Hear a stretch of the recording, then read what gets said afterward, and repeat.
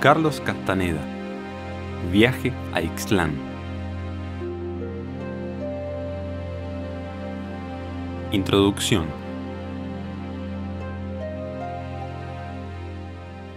El sábado 22 de mayo de 1971 fui a Sonora, México, para ver a don Juan Matus, un brujo yaqui con quien tenía contacto desde 1961 pensé que mi visita de ese día no iba a ser nada distinta de las veintenas de veces que había ido a verlo en los 10 años que llevaba como aprendiz suyo.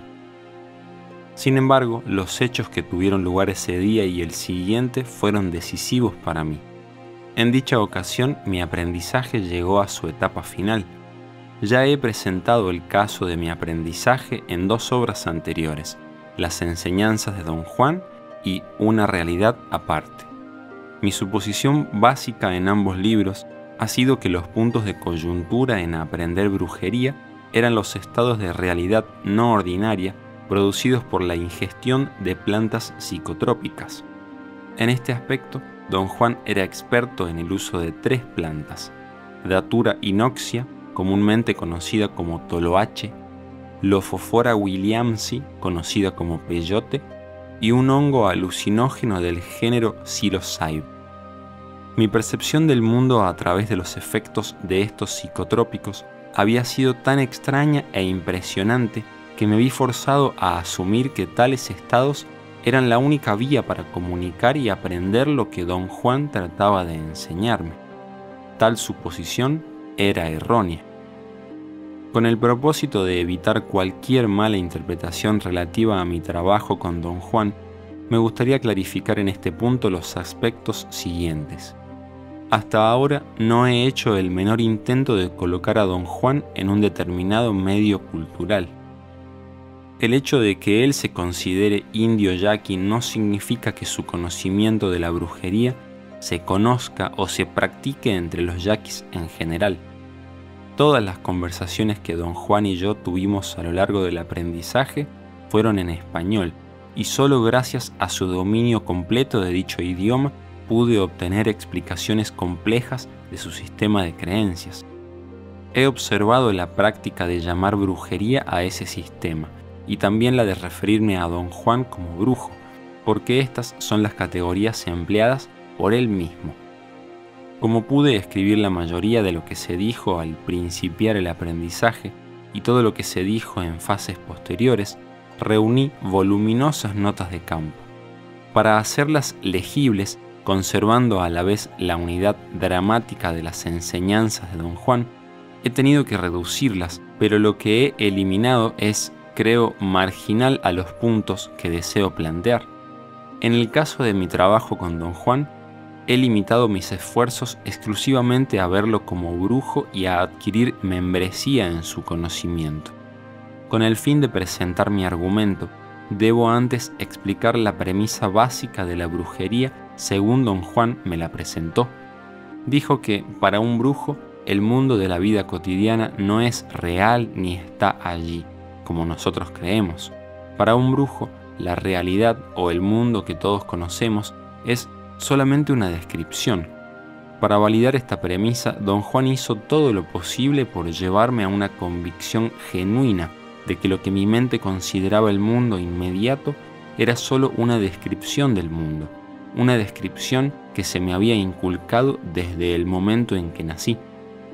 Me señaló que todo el que entra en contacto con un niño es un maestro que le describe incesantemente el mundo hasta el momento en que el niño es capaz de percibir el mundo según se lo describen. De acuerdo con don Juan, no guardamos recuerdo de aquel momento portentoso, simplemente porque ninguno de nosotros podía haber tenido ningún punto de referencia para compararlo con cualquier otra cosa. Sin embargo, desde ese momento el niño es un miembro, conoce la descripción del mundo y su membresía, supongo, se hace definitiva cuando él mismo es capaz de llevar a cabo todas las interpretaciones perceptuales adecuadas que validan dicha descripción ajustándose a ella. Para don Juan, pues, la realidad de nuestra vida diaria consiste en un fluir interminable de interpretaciones perceptuales que nosotros como individuos que comparten una membresía específica hemos aprendido a realizar en común. La idea de que las interpretaciones perceptuales que configuran el mundo tienen un fluir es congruente con el hecho de que corren sin interrupción y rara vez o nunca se ponen en tela de juicio. De hecho, la realidad del mundo que conocemos se da a tal grado por sentada que la premisa básica de la brujería, la de que nuestra realidad es apenas una de muchas descripciones, difícilmente podría tomarse como una proposición seria. Afortunadamente, en el caso de mi aprendizaje, a don Juan no le preocupaba en absoluto el que yo pudiese o no tomar en serio su proposición, y procedió a dilucidar sus planteamientos pese a mi oposición, mi incredulidad y mi incapacidad de comprender lo que decía. Así, como maestro de brujería, don Juan trató de describirme el mundo desde la primera vez que hablamos. Mi dificultad para asir sus conceptos y sus métodos derivaba del hecho de que las unidades de su descripción eran ajenas e incompatibles con las de la mía propia. Su argumento era que me estaba enseñando a ver, cosa distinta de solamente mirar, y que parar el mundo era el primer paso para ver. Durante años la idea de parar el mundo fue para mí una metáfora críptica que en realidad nada significaba. Solo durante una conversación informal ocurrida hacia el fin de mi aprendizaje, llegué a advertir por entero su amplitud e importancia como una de las proposiciones principales en el conocimiento de don Juan. Él y yo habíamos estado hablando de diversas cosas en forma reposada, sin estructura. Le conté el dilema de un amigo mío con su hijo de nueve años. El niño, que había estado viviendo con la madre durante los cuatro años anteriores, vivía entonces con mi amigo y el problema era qué hacer con él. Según mi amigo, el niño era un inadaptado en la escuela, sin concentración y no se interesaba en nada. Era dado a berrinches, a conducta destructiva y a escaparse de la casa. Menudo problema se carga tu amigo, dijo don Juan, riendo. Quise seguirle contando todas las cosas terribles que el niño hacía, pero me interrumpió. No hay necesidad de decir más sobre ese pobre niñito, dijo. No hay necesidad de que tú o yo pensemos de sus acciones de un modo o del otro. Su actitud fue abrupta y su tono firme, pero luego sonrió. ¿Qué puede hacer mi amigo? Pregunté. Lo peor que puede hacer es forzar al niño a estar de acuerdo con él, dijo don Juan. ¿Qué quiere usted decir? Quiero decir que el padre no debe pegarle ni asustarlo cuando no se porta como él quiere. ¿Cómo va a enseñarle algo si no es firme con él? Tu amigo debería dejar que otra gente le pegara al niño. No puede dejar que una persona ajena toque a su niño dije, sorprendido de la sugerencia. Don Juan pareció disfrutar mi reacción y soltó una risita. Tu amigo no es guerrero, dijo. Si lo fuera, sabría que no puede hacerse nada peor que enfrentar sin más ni más a los seres humanos. ¿Qué hace un guerrero, don Juan? Un guerrero procede con estrategia. Sigo sin entender qué quiere usted decir. Quiero decir que si tu amigo fuera guerrero, ayudaría a su niño a parar el mundo. ¿Cómo puede hacerlo? Necesitaría poder personal, necesitaría ser brujo, pero no lo es. En tal caso, debe usar medios comunes y corrientes para ayudar a su hijo a cambiar su idea del mundo. No es parar el mundo, pero de todos modos da resultado le pedí explicar sus aseveraciones. Yo, en lugar de tu amigo, dijo don Juan, empezaría por pagarle a alguien para que le diera sus nalgadas al muchacho. Iría a los arrabales y me arreglaría con el hombre más feo que pudiera hallar. ¿Para asustar a un niñito? No nada más para asustar a un niñito, idiota. Hay que parar a ese escuincle y los golpes que le dé su padre no servirán de nada. Si queremos parar a nuestros semejantes, siempre hay que estar fuera del círculo que los oprime. En esa forma se puede dirigir la presión. La idea era absurda, pero de algún modo me atraía. Don Juan descansaba la barbilla en la palma de la mano izquierda. Tenía el brazo izquierdo contra el pecho, apoyado en un cajón de madera que servía como una mesa baja. Sus ojos estaban cerrados, pero se movían. Sentí que me miraba a través de los párpados. La idea me espantó. Dígame, ¿qué más debería hacer mi amigo con su niño? dije. Dile que vaya a los arrabales y escoja con mucho cuidado al tipo más feo que pueda, prosiguió él. Dile que consiga uno joven, uno al que todavía le quede algo de fuerza. Don Juan delineó entonces una extraña estrategia. Yo debía instruir a mi amigo para que hiciera que el hombre lo siguiese o lo esperara en un sitio a donde fuera a ir con su hijo. El hombre, en respuesta a una seña convenida, dada después de cualquier comportamiento objetable por parte del pequeño, debía saltar de algún escondite, agarrar al niño y darle una soberana tunda. Después de que el hombre lo asuste, tu amigo debe ayudar al niño a recobrar la confianza, en cualquier forma que pueda. Si sigue este procedimiento tres o cuatro veces, te aseguro que el niño cambiará su sentir con respecto a todo, cambiará su idea del mundo. ¿Y si el susto le hace daño? El susto nunca daña a nadie. Lo que daña el espíritu es tener siempre encima a alguien que te pegue y te diga qué hacer y qué no hacer. Cuando el niño esté más contenido, debes decir a tu amigo que haga una última cosa por él. Debe hallar el modo de dar con un niño muerto, quizá en un hospital o en un consultorio de un doctor. Debe llevar allí a su hijo y enseñarle el niño muerto debe hacerlo tocar el cadáver una vez con la mano izquierda, en cualquier lugar menos en la barriga. Cuando el niño haga eso, quedará renovado. El mundo nunca será ya el mismo para él. Me di cuenta entonces de que a través de los años de nuestra relación, don Juan había estado usando conmigo, aunque en una escala diferente, la misma táctica que sugería para el hijo de mi amigo. Le pregunté al respecto dijo que todo el tiempo había estado tratando de enseñarme a parar el mundo. Todavía no lo paras, dijo, sonriendo.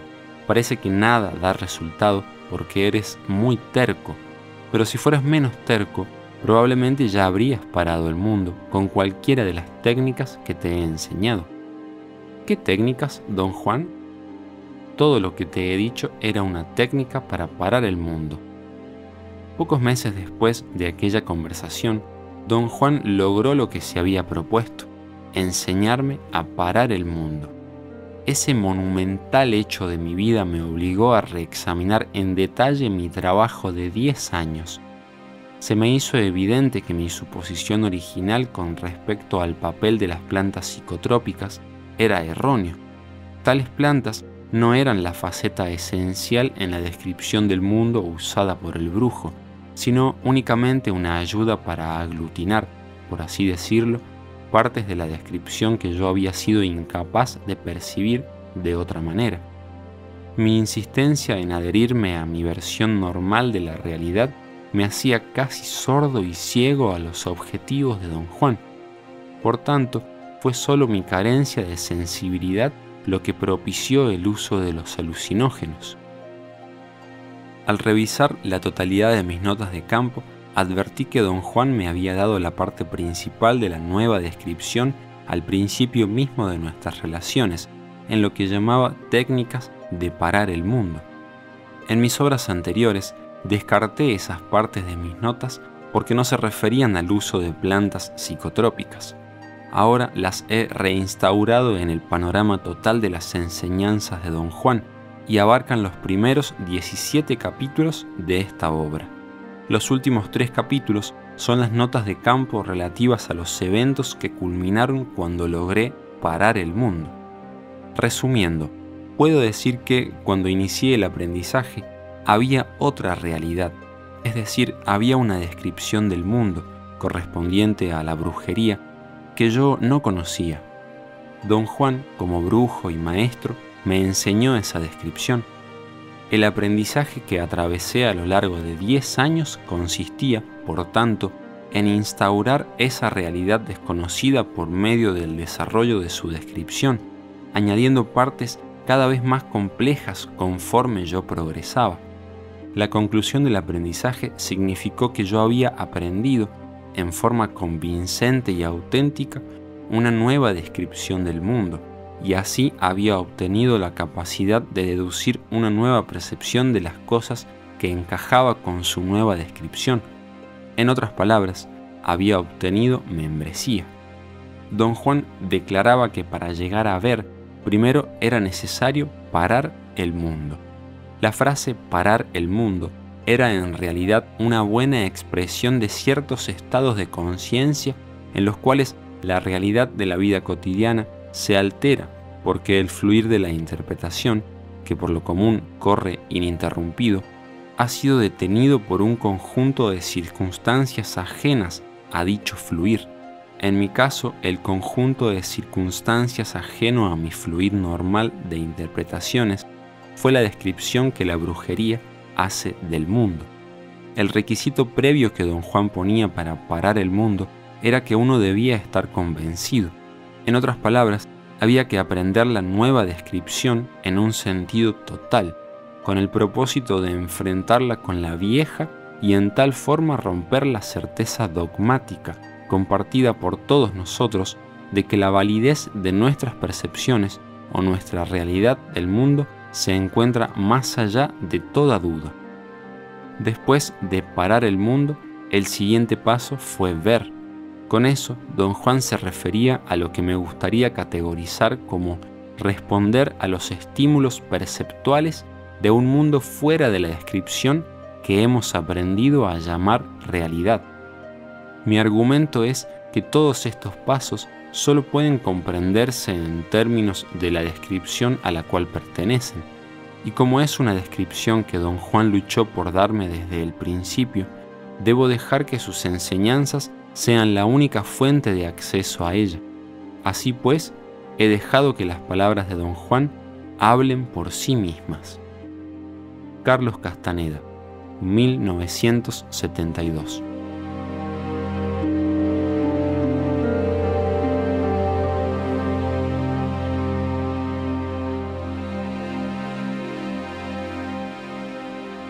Capítulo 1 las reafirmaciones del mundo que nos rodea. Entiendo que usted conoce mucho de plantas, señor, dije al anciano indígena frente a mí.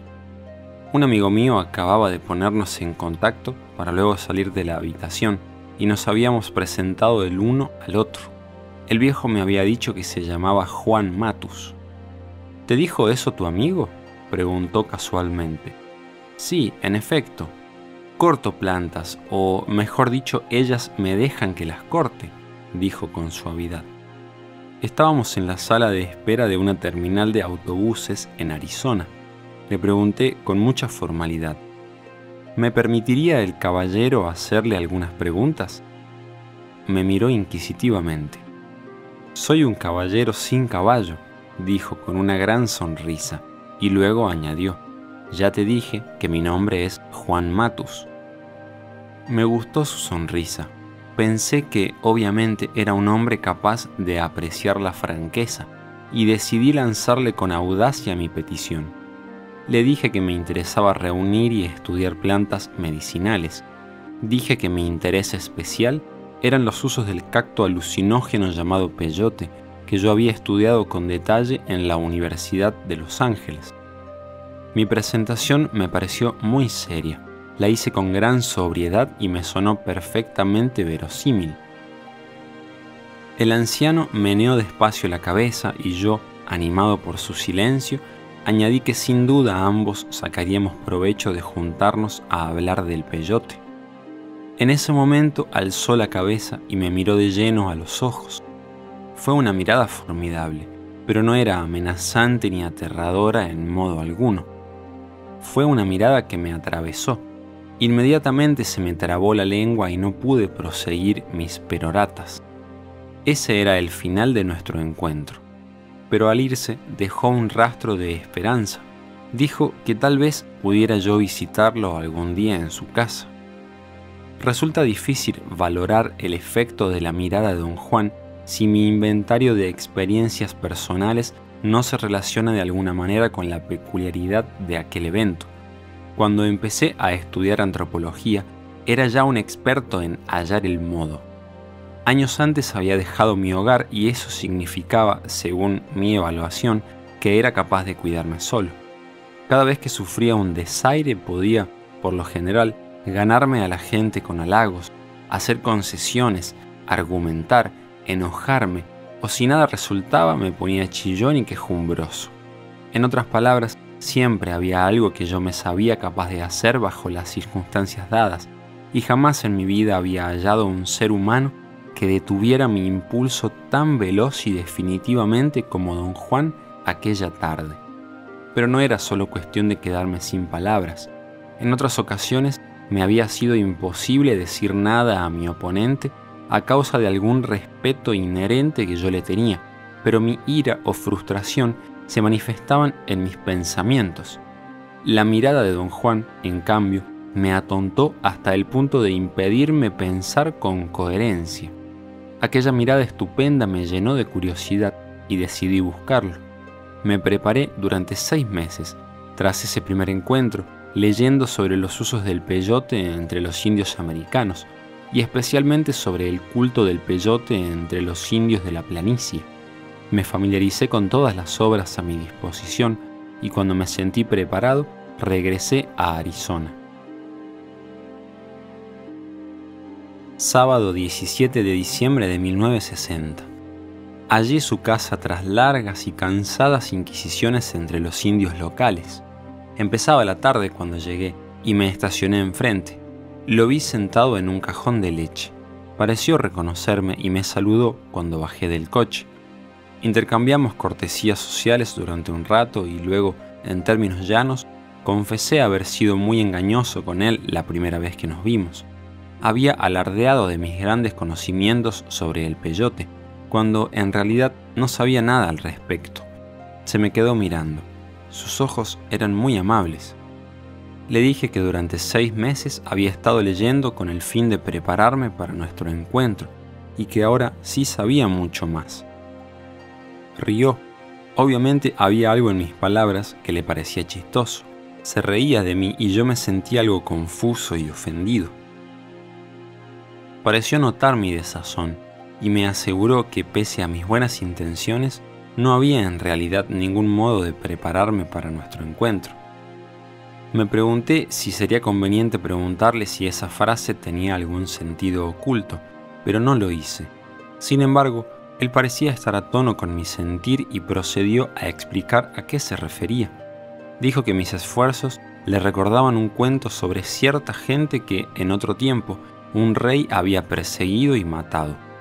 Dijo que en el cuento los perseguidos solo se distinguían de los perseguidores en que los primeros insistían en pronunciar ciertas palabras de un modo peculiar, propio solamente de ellos. Esa falla, por supuesto, los delataba.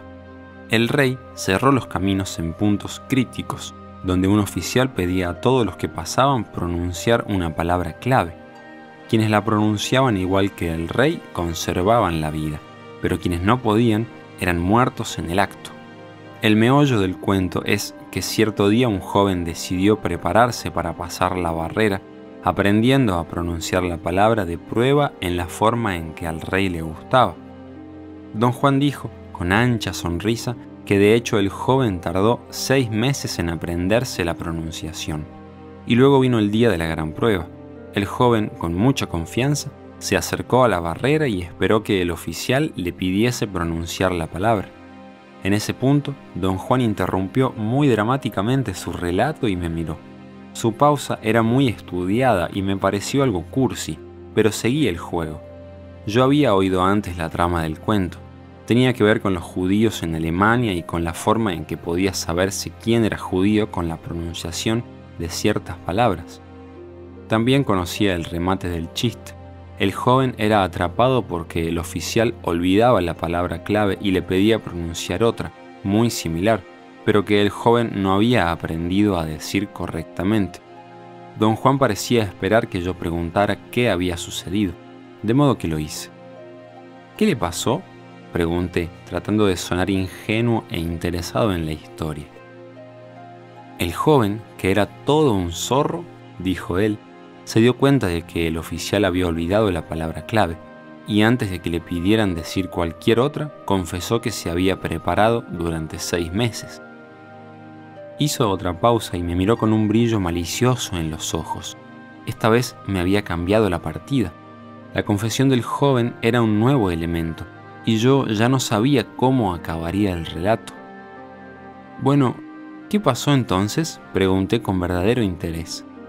Lo mataron en el acto, por supuesto, dijo él y estalló en una risotada. Me gustó mucho la forma en que había atrapado mi interés, sobre todo me agradó cómo había ligado el cuento con mi propio caso. De hecho, parecía haberlo construido a mi medida. Se burlaba de mí con mucho arte y sutileza. Reí junto con él. Después le dije que, por más estupideces que yo dijera, me interesaba realmente aprender algo sobre las plantas. A mí me gusta caminar mucho, dijo. Pensé que cambiaba deliberadamente el tema de la conversación para evitar responderme. No quise antagonizarlo con mi insistencia. Me preguntó si me gustaría acompañarlo a una corta caminata por el desierto. Le dije con entusiasmo que me encantaría caminar por el desierto. Esto no es un paseo de campo, dijo en tono de advertencia. Contesté que tenía deseos muy serios de trabajar con él. Dije que necesitaba información, cualquier tipo de información, sobre los usos de las hierbas medicinales y que estaba dispuesto a pagarle su tiempo y su esfuerzo. ¿Estaría usted trabajando para mí? dije, y le pagaré un sueldo. ¿Qué tanto me pagarías? preguntó. Detecté en su voz un matiz de codicia. Lo que a usted le parezca apropiado, dije. Págame mi tiempo con tu tiempo, dijo él. Pensé que era un tipo de lo más peculiar Declaré no entender a qué se refería. Repuso que no había nada que decir acerca de las plantas, de modo que no podía ni pensar en aceptar mi dinero. Me miró penetrantemente. ¿Qué haces en tu bolsillo? Preguntó, frunciendo el entrecejo. ¿Estás jugando con tu pito? Se refería a que yo tomaba notas en un cuaderno diminuto, dentro de los enormes bolsillos de mi rompeviento. Cuando le dije lo que hacía, rió de buena gana. Expliqué que no deseaba molestarlo escribiendo frente a él. Si quieres escribir, escribe, dijo. No me molestas. Caminamos por el desierto en torno hasta que casi era de noche. No me mostró ninguna planta ni habló de ellas para nada. Nos detuvimos un momento a descansar junto a unos arbustos grandes. Las plantas son cosas muy peculiares, dijo sin mirarme. Están vivas y sienten, en el momento mismo en que hizo tal afirmación, una fuerte racha de viento sacudió el chaparral desértico en nuestro derredor. Los arbustos produjeron un ruido crujiente. ¿Oyes? me preguntó, poniéndose la mano izquierda junto a la oreja como para escuchar mejor. Las hojas y el viento están de acuerdo conmigo. Reí. El amigo que nos puso en contacto ya me había advertido que tuviera cuidado, porque el viejo era muy excéntrico Pensé que el acuerdo con las hojas era una de sus excentricidades. Caminamos un rato más, pero siguió sin mostrarme plantas y tampoco cortó ninguna. Simplemente caminaba con vivacidad entre los arbustos, tocándolos suavemente. Luego se detuvo para sentarse en una roca y me dijo que descansara y mirase alrededor. Insistí en hablar una vez más le hice saber que tenía muchos deseos de aprender cosas de las plantas, especialmente del peyote. Le supliqué que se convirtiera en informante mío a cambio de alguna recompensa monetaria. No tienes que pagarme, dijo. Puedes preguntarme lo que quieras. Te diré lo que sé y luego te diré qué se puede hacer con eso. Me preguntó si estaba de acuerdo con el arreglo. Yo me hallaba deleitado Luego añadió una frase críptica. A lo mejor no hay nada que aprender de las plantas porque no hay nada que decir de ellas. No comprendí lo que había dicho ni a qué se refería. ¿Cómo dice usted? pregunté. Repitió su afirmación tres veces y luego toda la zona se estremeció con el rugido de un aeroplano de la Fuerza Aérea que pasó volando bajo. Ya ves, el mundo está de acuerdo conmigo, dijo, llevándose la mano izquierda al oído. Me resultaba muy divertido. Su risa era contagiosa. ¿Es usted de Arizona, don Juan? Pregunté, en un esfuerzo por mantener la conversación centrada en la posibilidad de que fuera mi informante. Me miró y asintió con la cabeza. Sus ojos parecían fatigados, se veía el blanco debajo de las pilas. ¿Nació usted en esta localidad? Asintió de nuevo sin responderme. Parecía un gesto afirmativo, pero también el asentimiento nervioso de alguien que está pensando. ¿Y tú, de dónde eres? preguntó. Vengo de Sudamérica, dije. Es grande ese sitio. ¿Vienes de todo él? Sus ojos me miraban, penetrantes de nuevo. Empecé a explicar las circunstancias de mi nacimiento, pero me interrumpió. En esto nos parecemos, dijo. Yo ahora vivo aquí, pero en realidad soy un yaqui de Sonora. No me diga, yo soy de... no me dejó terminar. Ya sé, ya sé, dijo. Tú eres quien eres, de dónde eres, igual que yo soy un yaqui de Sonora. Sus ojos relucían y su risa era extremadamente inquietante. Me hizo sentir como si me hubiera atrapado en una mentira. Experimenté una peculiar sensación de culpa. Tuve el sentimiento de que él conocía algo que yo no sabía o no quería decir. Mi extraña incomodidad creció Debe haberla advertido porque se puso en pie y me preguntó si quería ir a comer en una fonda del pueblo. Caminar de regreso a su casa y luego el viaje en coche al pueblo me hizo sentirme mejor, pero no me hallaba completamente relajado. De algún modo me sentía amenazado, aunque no podía precisar el motivo. En la fonda quise invitarle a una cerveza. Dijo que nunca bebía, ni siquiera cerveza. Reí para mis adentros. No le creía.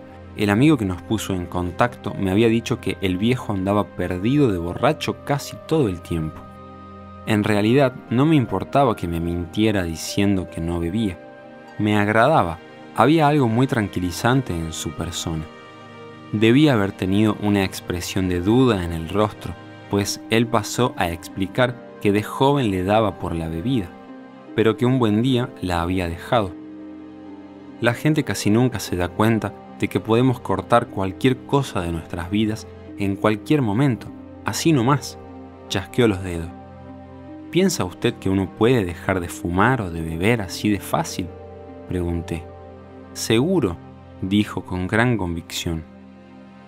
Seguro, dijo con gran convicción. El cigarro y la bebida no son nada, nada en absoluto si queremos dejarlo. En ese mismo instante, el agua que hervía en la cafetera hizo un ruido fuerte y vivaz.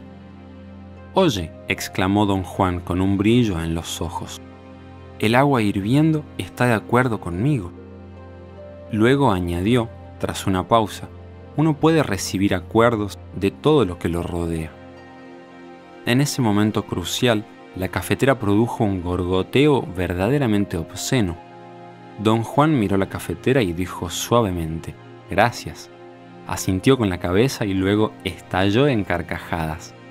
Me desconcerté. Su risa era un poco demasiado fuerte, pero yo me divertía genuinamente con todo aquello. Mi primera sesión propiamente dicha con mi informante llegó entonces a su fin. Se despidió en la puerta de la fonda. Le dije que tenía que visitar a unos amigos y que me gustaría verlo de nuevo a fines de la semana siguiente. ¿Cuándo estará usted en su casa? pregunté. Me escudriñó. Cuando vengas, repuso. No sé exactamente cuándo pueda venir. Pues ven y no te preocupes. ¿Y si usted no está? Allí estaré, dijo, sonriendo y se alejó.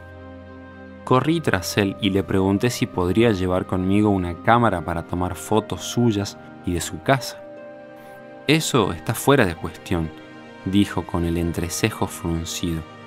¿Y una grabadora le molestaría? Me temo que tampoco de eso hay posibilidad. Me molesté y empecé a agitarme. Dije que no veía ningún motivo lógico para su rechazo. Don Juan movió la cabeza en sentido negativo. Olvídalo, dijo con fuerza, y si todavía quieres verme, no vuelvas a mencionarlo. Presenté una débil queja final. Dije que las fotos y las grabaciones eran indispensables para mi trabajo. Él respondió que solo una cosa era indispensable para todo lo que hacíamos. La llamó el espíritu. No se puede prescindir del espíritu, dijo, y tú no lo tienes. Preocúpate de eso y no de tus fotos. ¿A qué se me interrumpió con un ademán y retrocedió algunos pasos? No te olvides de volver, dijo con suavidad y agitó la mano en despedida.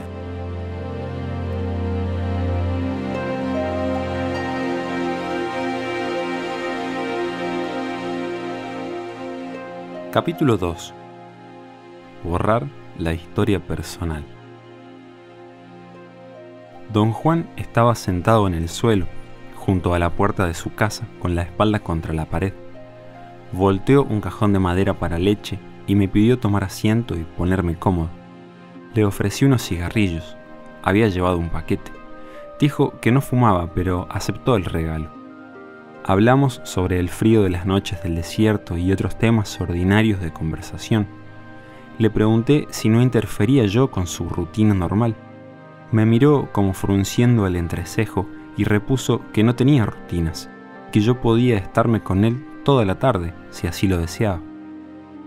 Yo había preparado algunas cartas de genealogía y parentesco que deseaba llenar con ayuda suya. También había compilado a través de la literatura etnográfica una larga serie de rasgos culturales pertenecientes, se decía, a los indígenas de la zona. Quería revisar con él la lista y marcar todos los elementos que le fuesen familiares. Empecé con las cartas de parentesco. ¿Cómo llamaba usted a su padre? pregunté. Lo llamaba papá, dijo él con rostro muy serio. Me sentí algo molesto, pero procedí sobre la suposición de que no había comprendido. Le mostré la carta y expliqué. Un espacio era para el padre y otro para la madre. Di como ejemplo las distintas palabras usadas para padre y madre en inglés y en español. Pensé que tal vez habría debido empezar por la madre. ¿Cómo llamaba usted a su madre? pregunté. La llamaba mamá, repuso con tono ingenuo.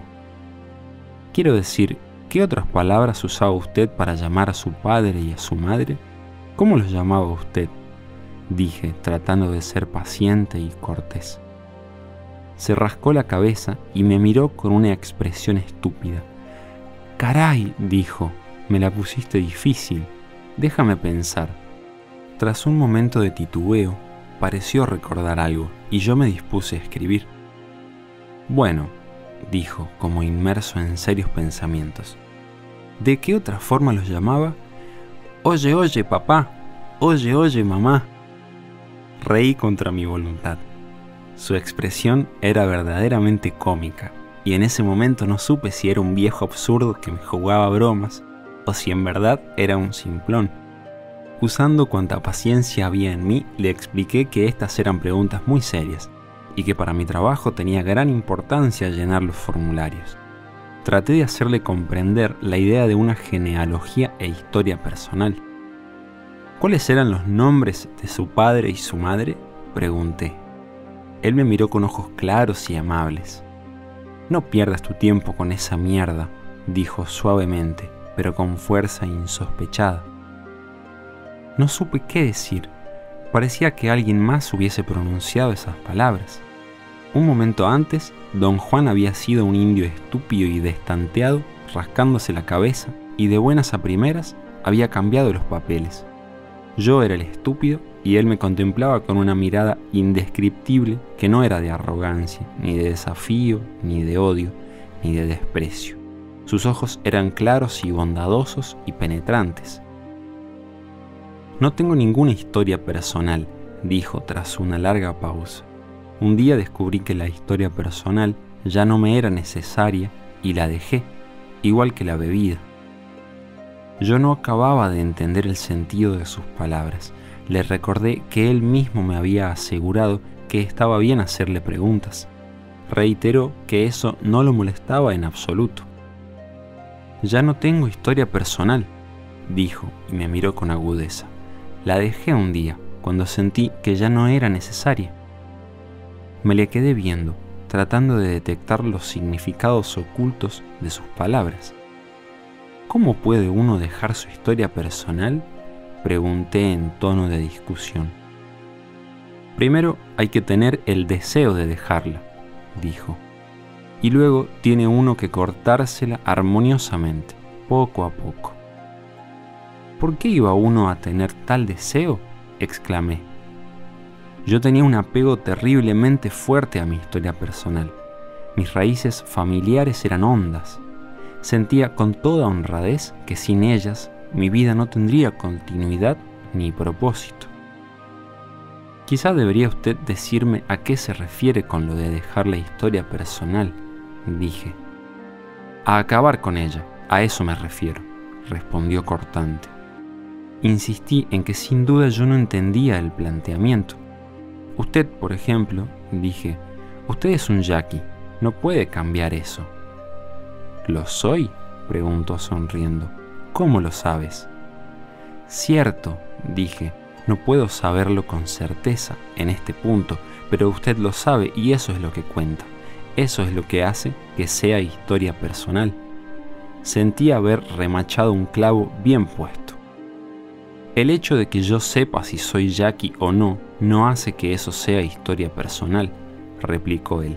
Solo se vuelve historia personal cuando alguien más lo sabe, y te aseguro que nadie lo sabrá nunca de cierto.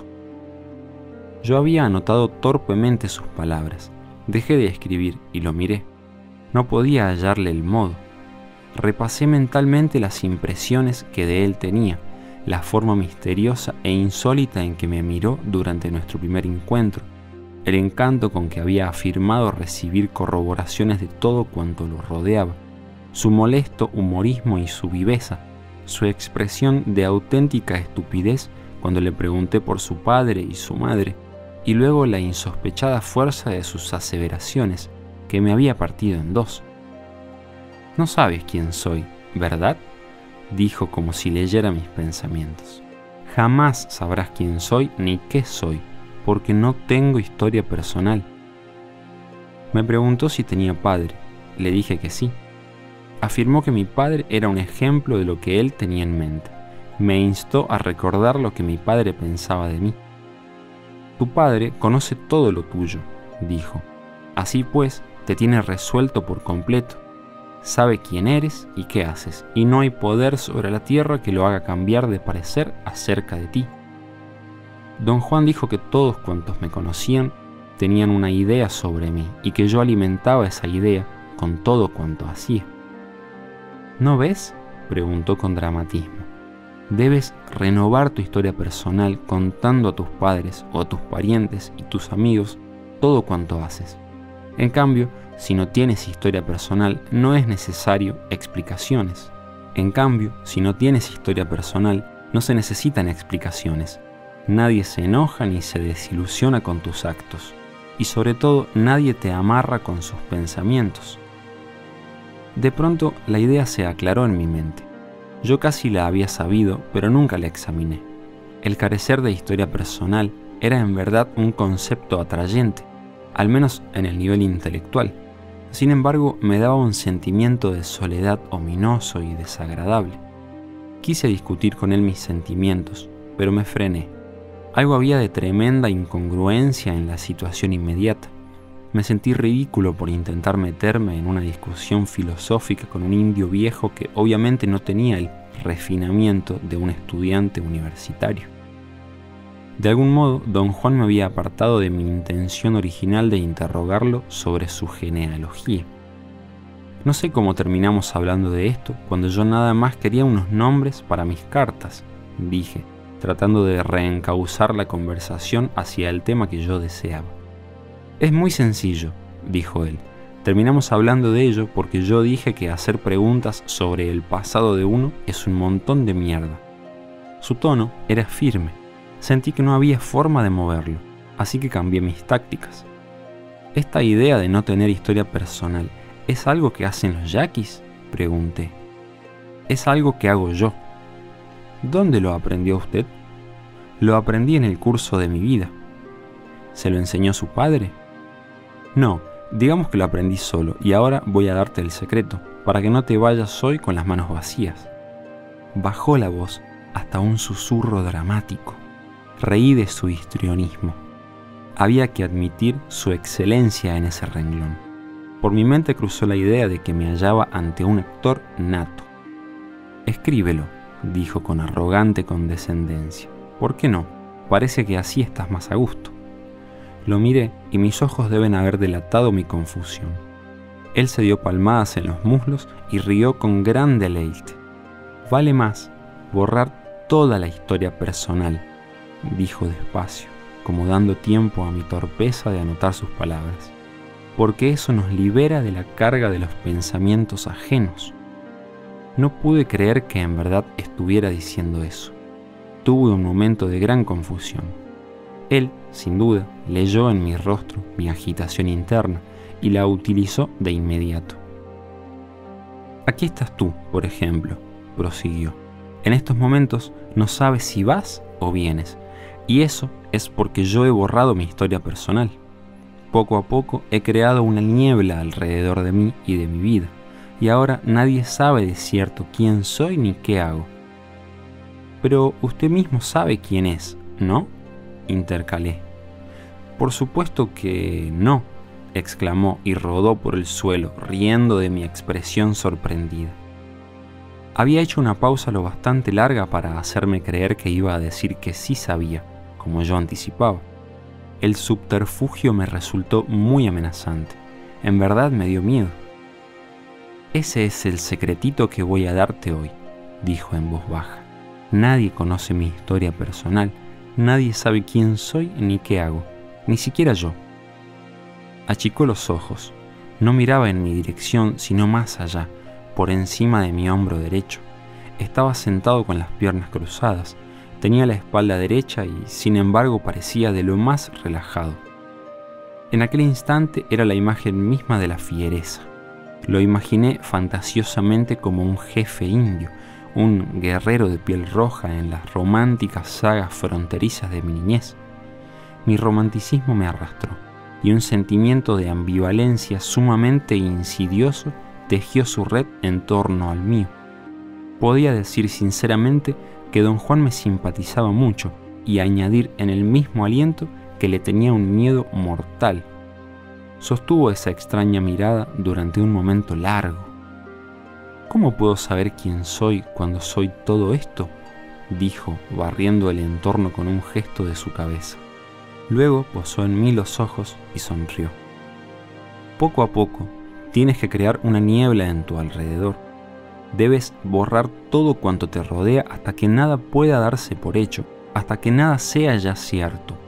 Tu problema es que eres demasiado cierto. Tus empresas son demasiado ciertas, tus humores son demasiado ciertos. No tomes las cosas por hechas, debes empezar a borrarte. ¿Para qué? pregunté, belicoso. Se me aclaró que don Juan me estaba dando reglas de conducta. A lo largo de toda mi vida yo había llegado al punto de ruptura cuando alguien trataba de decirme qué hacer. La sola idea de que me dijeran qué hacer me ponía de inmediato a la defensiva. Dijiste que querías aprender los asuntos de las plantas, dijo él calmadamente. ¿Quieres recibir algo a cambio de nada? ¿Qué te crees que es esto? Quedamos en que tú me harías preguntas y yo te diría lo que sé. Si no te gusta, no tenemos nada más que decirnos. Su terrible franqueza me despertó resentimiento y a regañadientes concedí que él tenía la razón. Entonces, mírala por este lado, prosiguió. Si quieres aprender los asuntos de las plantas, como en realidad no hay nada que decir de ellas, debes, entre otras cosas, borrar tu historia personal. ¿Cómo? pregunté.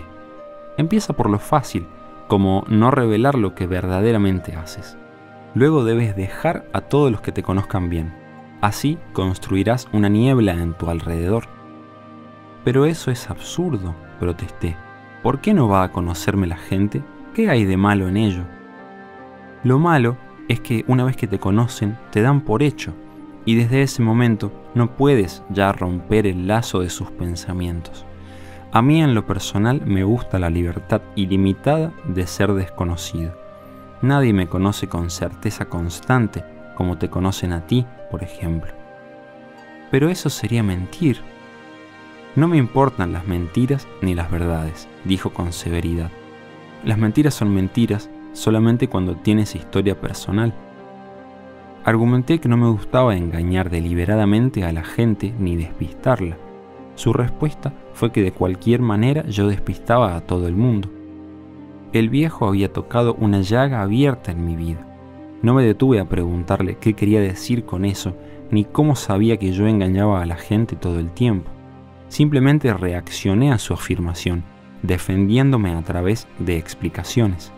Dije tener la dolorosa conciencia de que mi familia y mis amigos me consideraban indigno de confianza, cuando en realidad jamás había dicho una mentira en toda mi vida. Siempre supiste mentir, dijo él. Lo único que faltaba era que no sabías por qué hacerlo. Ahora lo sabes. Protesté. ¿No ve usted que estoy harto de que la gente me considere indigno de confianza? dije. Pero si eres indigno de confianza, repuso con convicción. Que no, hombre, me llevan los demonios, exclamé. Mi actitud, en vez de forzarlo a la seriedad, lo hizo reír histéricamente. Sentí un enorme desprecio hacia el anciano por su engreimiento. Desdichadamente, estaba en lo cierto con respecto a mí. Tras un rato me calmé y él siguió hablando. Cuando uno no tiene historia personal, nada de lo que dice puede tomarse como una mentira. Tu problema es que tienes que explicarle todo a todos, por obligación, y al mismo tiempo quieres conservar la frescura, la novedad de lo que haces. Bueno, pues como no puedes sentirte estimulado después de explicar todo lo que has hecho, dices mentiras para seguir en marcha. Me hallaba en verdad perplejo por la gama de nuestra conversación. Escribía lo mejor posible todos los detalles del diálogo, concentrándome en lo que don Juan decía, en lugar de detenerme a deliberar en mis prejuicios o en el sentido de sus palabras. De ahora en adelante, dijo él, debes simplemente enseñarle a la gente lo que quieras enseñarle, pero sin decirle nunca con exactitud cómo lo has hecho. Yo no puedo guardar secretos, exclamé. Lo que usted dice es inútil para mí. Pues cambia, dijo en tono cortante y con un brillo feroz en la mirada. Parecía un extraño animal salvaje, y sin embargo era tan coherente en sus ideas y tan verbal. Mi molestia cedió el paso a un estado de confusión irritante. Verás, prosiguió, solo tenemos una alternativa. O tomamos todo por cierto o no. Si hacemos lo primero, terminamos muertos de aburrimiento con nosotros mismos y con el mundo. Si hacemos lo segundo y borramos la historia personal, creamos una niebla a nuestro alrededor, un estado muy emocionante y misterioso en el que nadie sabe por dónde va a saltar la liebre, ni siquiera nosotros mismos. Repuse que borrar la historia personal solo acrecentaría nuestra sensación de inseguridad. Cuando nada es cierto, nos mantenemos alertas, de puntillas todo el tiempo, dijo él. Es más emocionante no saber detrás de cuál matorral se esconde la liebre que portarnos como si conociéramos todo. No dijo una palabra más durante un rato muy largo. Acaso una hora transcurrió en completo silencio. Yo no sabía qué preguntar. Finalmente se puso de pie y me pidió llevarlo al pueblo cercano. Yo ignoraba el motivo pero nuestra conversación me había agotado. Tenía ganas de dormir. Él me pidió parar en el camino y me dijo que si deseaba descansar, debía trepar a la cima plana de una loma al lado de la carretera y acostarme boca abajo con la cabeza hacia el este. Parecía tener un sentimiento de urgencia. Yo no quise discutir, o acaso me encontraba demasiado cansado hasta para hablar. Subí al cerro e hice lo que él me había indicado. Dormí solo dos o tres minutos, pero fueron suficientes para que mi energía se renovara. Llegamos al centro del pueblo, donde quiso que lo dejase. Vuelve, dijo al bajar del coche. Acuérdate de volver.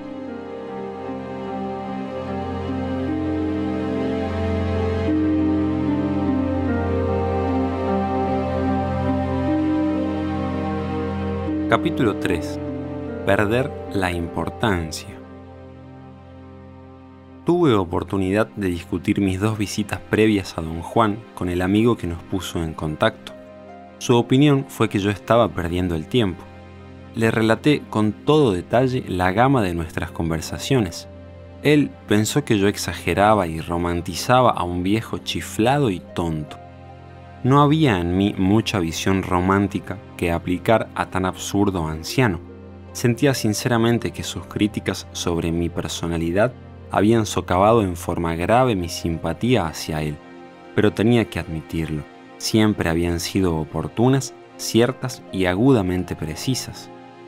En ese punto, el centro de mi dilema era que rehusaba a aceptar que don Juan era muy capaz de desbaratar todas mis ideas preconcebidas acerca del mundo y a concordar con mi amigo en la creencia de que el viejo indio estaba simplemente loco. Me sentí compelido a hacerle otra visita antes de resolver el problema. Miércoles 28 de diciembre de 1960. Inmediatamente después de que llegué a su casa me llevó a caminar por el chaparral del desierto. Ni siquiera miró la bolsa de comestibles que yo le llevé. Parecía haberme estado esperando. Caminamos durante horas. Él no cortó plantas ni me las mostró. En cambio, me enseñó una forma correcta de andar. Dijo que yo debía curvar suavemente los dedos mientras caminaba para conservar la atención en el camino y los alrededores. Aseveró que mi forma ordinaria de andar debilitaba y que nunca había que llevar nada en las manos. De ser necesario transportar cosas, debía usarse una mochila o cualquier clase de red portadora o bolsa para los hombros. Su idea era que obligando a las manos a adoptar una posición específica, uno era capaz de mayor energía y mayor lucidez.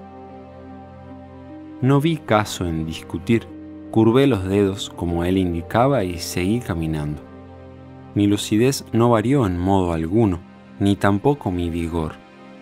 Iniciamos nuestra excursión en la mañana y nos detuvimos a descansar a eso del mediodía. Yo sudaba y quise beber de mi cantimplora, pero él me detuvo diciendo que era mejor tomar solo un sorbo de agua.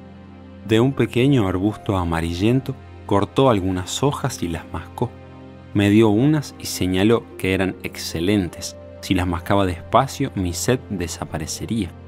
No fue así, pero tampoco sentí malestar pareció haber leído mis pensamientos y explicó que yo no advertía los beneficios de la forma correcta de andar, ni los de masticar las hojas, porque era joven y fuerte y mi cuerpo no percibía nada por ser un poco estúpido. Rió, yo no estaba de humor para risas, y eso pareció divertirle más aún.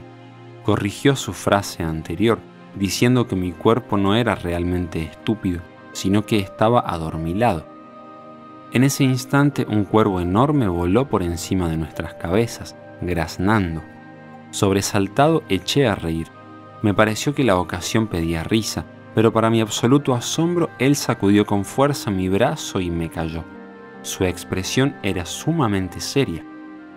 Eso no fue chiste, dijo con severidad, como si yo supiera a qué se refería. Pedí una explicación. Era incongruente, le dije que se enojara porque yo reía del cuervo, cuando nos habíamos reído de la cafetera. Lo que viste no era solo un cuervo, exclamó. Pero yo lo vi y era un cuervo, insistí. No viste nada, idiota, dijo Osco. Su brusquedad era injustificada. Le dije que no me gustaba hacer enojar a la gente y que tal vez sería mejor irme, pues él no parecía estar de humor para tolerar compañía. Él rió a carcajadas, como si yo fuese un payaso que actuaba para él. Mi molestia e irritación crecieron proporcionalmente. Eres muy violento, comentó despreocupado. Te tomas demasiado en serio. ¿Pero no estaba usted haciendo lo mismo? interpuse, tomándose en serio cuando se enojó conmigo. Dijo que enojarse conmigo era lo que más lejos estaba de su pensamiento. Me miró con ojos penetrantes. Lo que viste no era un acuerdo del mundo, dijo. Los cuervos que vuelan o graznan no son nunca un acuerdo. Eso fue una señal. ¿Una señal de qué? Una indicación muy importante acerca de ti, repuso crípticamente. En ese mismo instante el viento arrastró hasta nuestros pies la rama seca de un arbusto. Eso fue un acuerdo, exclamó él, y mirándome con ojos relucientes, estalló en una carcajada. Tuve la sensación de que por molestarme inventaba sobre la marcha las reglas de su extraño juego. Así, él podía reír, pero yo no. Mi irritación volvió a expandirse y le dije lo que pensaba de él. No se disgustó ni se ofendió para nada. Rió y su risa acrecentó más aún mi angustia y mi frustración. Pensé que deliberadamente me humillaba. Decidí allí mismo que ya estaba harto del trabajo de campo. Me puse en pie y le dije que deseaba emprender el regreso a su casa, porque tenía que salir rumbo a Los Ángeles. Siéntate, dijo, imperioso. Te pones de malas como señora vieja. No puedes irte ahora porque todavía no terminamos. Lo odié. Pensé que era un hombre despectivo. Empezó a cantar una idiota canción ranchera. Obviamente estaba imitando a algún cantante popular. Alargaba ciertas sílabas y contraía otras, convirtiendo la canción en todo un objeto de farsa. Era tan cómico que acabé por reír. Ya ves, te ríes de la canción estúpida, dijo, pero el que canta así y los que pagan por oírlo no se ríen, piensan que es seria. ¿Qué quiere usted decir? pregunté. Pensé que había urdido el ejemplo para decirme que yo reí del cuervo por no haberlo tomado en serio, igual que no había tomado en serio la canción, pero me desconcertó de nuevo. Dijo que yo era como el cantante y la gente a quien le gustaban sus canciones, lleno de arrogancia y seriedad con respecto a una idiotez que a nadie en su sano juicio debía importarle un pepino. Luego recapituló, como para refrescar mi memoria, todo cuanto había dicho antes sobre el tema de aprender los asuntos de las plantas. Recalcó enfáticamente que si yo en verdad quería aprender debía remodelar la mayor parte de mi conducta. Mi molestia creció hasta que incluso el tomar notas me costaba un esfuerzo supremo. Te tomas demasiado en serio, dijo, despacio. Te das demasiada importancia. Eso hay que cambiarlo. Te sientes de lo más importante y eso te da pretexto para molestarte con todo. Eres tan importante que puedes marcharte así nomás si las cosas no salen a tu modo. Sin duda piensas que con eso demuestras tener carácter, Eres débil y arrogante. Traté de formular una protesta, pero él no quitó el dedo del renglón. Señaló que en el curso de mi vida yo jamás había podido terminar nada a causa de ese sentido de importancia desmedida que yo mismo me atribuía. La certeza con que hizo sus aseveraciones me desconcertó por completo. Eran verdad, desde luego, y eso me hacía sentirme no solo enojado, sino también bajo amenaza. La arrogancia es otra cosa que hay que dejar, lo mismo que la historia personal, dijo en tono dramático. Yo no quería en modo alguno discutir con él. Resultaba obvia mi tremenda desventaja. Él no iba a regresar a su casa hasta que se le antojase, y yo no conocía el camino. Tenía que quedarme con él. Hizo un movimiento extraño y súbito, pareció husmear el aire en torno suyo. Su cabeza se sacudió leve y rítmicamente. Se le veía en un estado de alerta fuera de lo común. Se volvió y fijó en mí los ojos con una expresión de extrañeza y curiosidad. Me miró de pies a cabeza como buscando algo específico. Luego se levantó abruptamente y empezó a caminar con rapidez. Casi corría. Lo seguí mantuvo un paso muy acelerado durante poco menos de una hora. Finalmente se detuvo junto a una colina rocosa y nos sentamos a la sombra de un arbusto. El trote me había agotado por completo, aunque me hallaba de mejor humor. Era extraña la forma en que había cambiado. Me sentía casi alborozado, pero cuando habíamos empezado a trotar, después de nuestra discusión, me hallaba furioso con él. Es muy extraño, dije, pero me siento de veras bien. Oí a la distancia el graznar de un cuervo. Él se llevó el dedo a la oreja derecha y sonrió. Eso fue una señal, dijo. Una piedra cayó rebotando cuesta abajo y aterrizó con estruendo en el chaparral. Él rió con fuerza y señaló con el dedo en dirección del sonido. Y eso fue un acuerdo, dijo. Luego preguntó si me encontraba dispuesto a hablar de mi arrogancia. Reí. Mi sentimiento de ira parecía tan lejano que ni siquiera podía yo concebir cómo me había disgustado con don Juan. No entiendo qué me está pasando, dije. Me enojé y ahora no sé por qué ya no estoy enojado. El mundo que nos rodea es muy misterioso, dijo él. No entrega fácilmente sus secretos. Me gustaban sus frases crípticas. Eran un reto y un misterio. No podía yo determinar si estaban llenas de significados ocultos o si eran solo puros sinsentidos. Si alguna vez regresas aquí al desierto, dijo, no te acerques a ese cerrito pedregoso donde nos detuvimos hoy. Húyele como a la plaga. ¿Por qué? ¿Qué ocurre? Este no es el momento de explicarlo, dijo. Ahora nos importa perder la arrogancia. Mientras te sientas lo más importante del mundo, no puedes apreciar en verdad el mundo que te rodea. Eres como un caballo con anteojeras, nada más te ves tú mismo, ajeno a todo lo demás. Me examinó un momento. Voy a hablar aquí con mi amiguita, dijo, señalando una planta pequeña. Se arrodilló frente a ella y empezó a acariciarla y a hablarle. Al principio no entendí lo que decía, pero luego cambió de idioma y le habló a la planta en español. Parloteó sendeces durante un rato, luego se incorporó.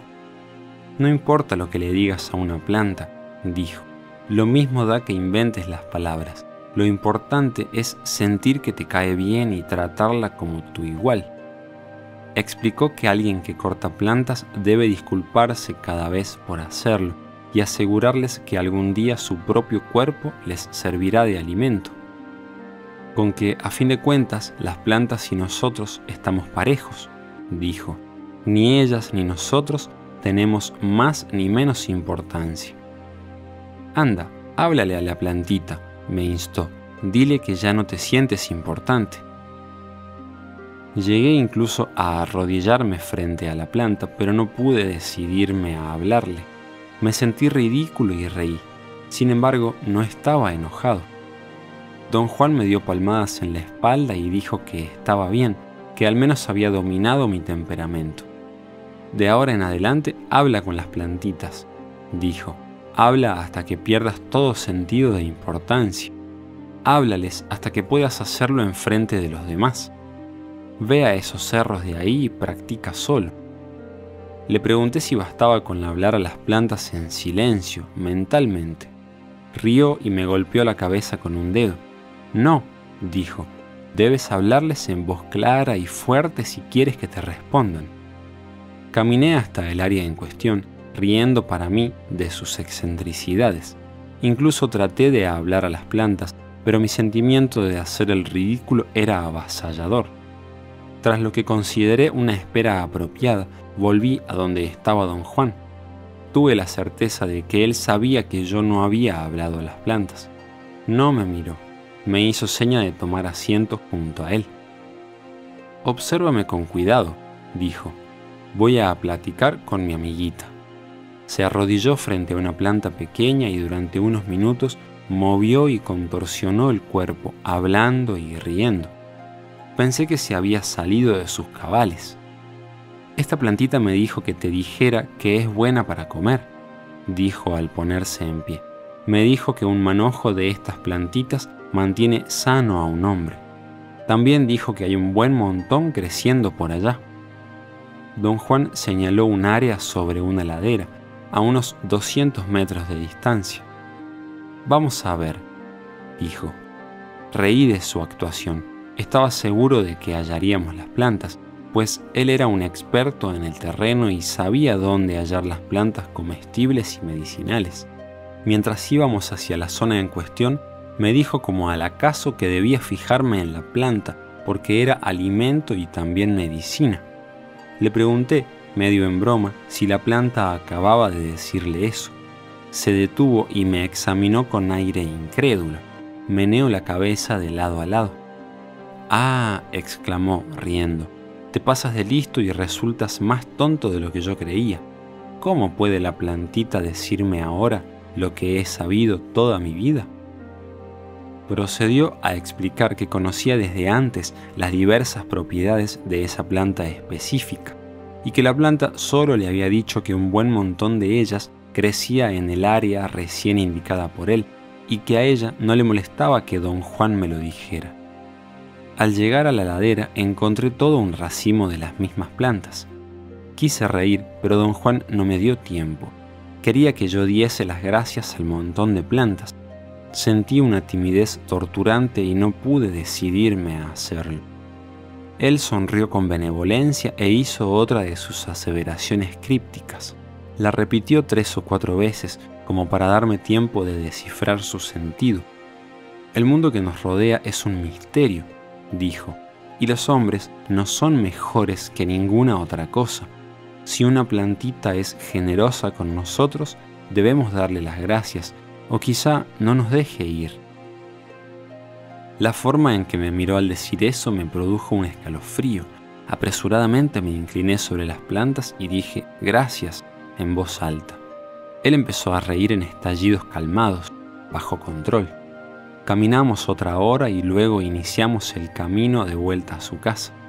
En cierto momento me quedé atrás y él tuvo que esperarme. Revisó mis dedos para ver si los había curvado. No era así. Me dijo, imperioso, que cuando yo anduviera con él tenía que observar y copiar todas sus maneras, o de lo contrario, mejor haría no yendo. No puedo estarte esperando como si fueras un niño, dijo en tono de regaño. Esa frase me hundió en las profundidades de la vergüenza y el desconcierto. ¿Cómo era posible que un hombre tan anciano caminase mucho mejor que yo? Me creía de constitución atlética y fuerte, y sin embargo él había tenido que esperar a que yo me le emparejara. Curvé los dedos y extrañamente pude mantenerme a su paso sin ningún esfuerzo. De hecho, en ocasiones sentía que las manos me jalaban hacia adelante. Me sentí exaltado. Era por completo feliz caminando tontamente con ese extraño viejo indio. Empecé a hablar y le pregunté repetidas veces si podría mostrarme algunas plantas de peyote. Él me miró, pero no dijo una sola palabra.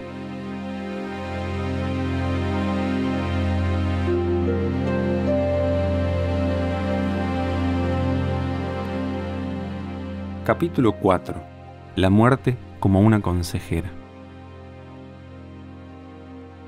¿Me enseñará usted algún día lo que sabe del peyote? Pregunté. Él no respondió y, como había hecho antes, se limitó a mirarme como si yo estuviera loco.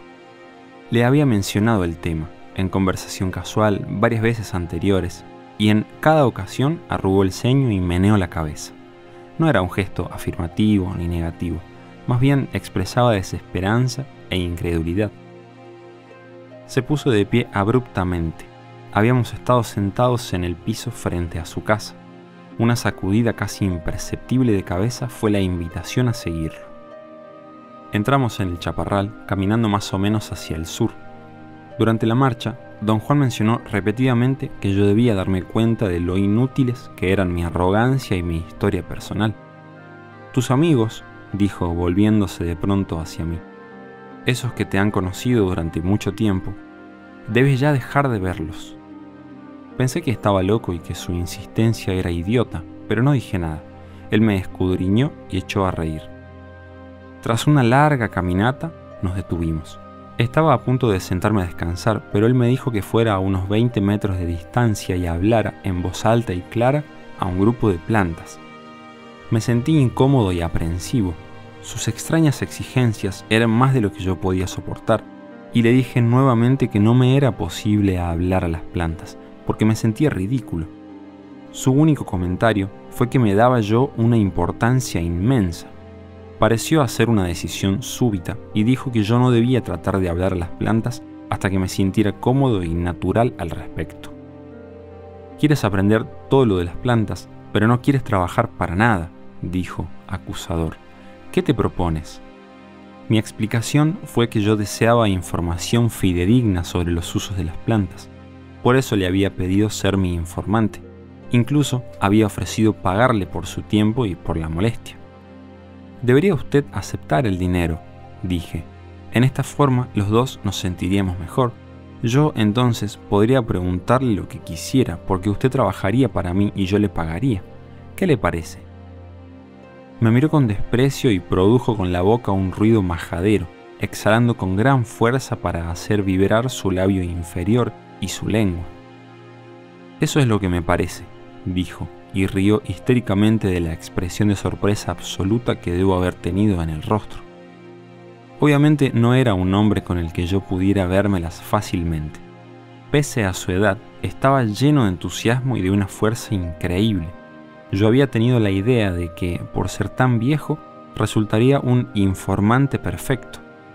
La gente vieja, se me había hecho creer, era la mejor informante porque se hallaba demasiado débil para hacer otra cosa que no fuese a hablar. Don Juan, en cambio, era un pésimo sujeto. Yo lo sentí incontrolable y peligroso. El amigo que nos presentó tenía razón.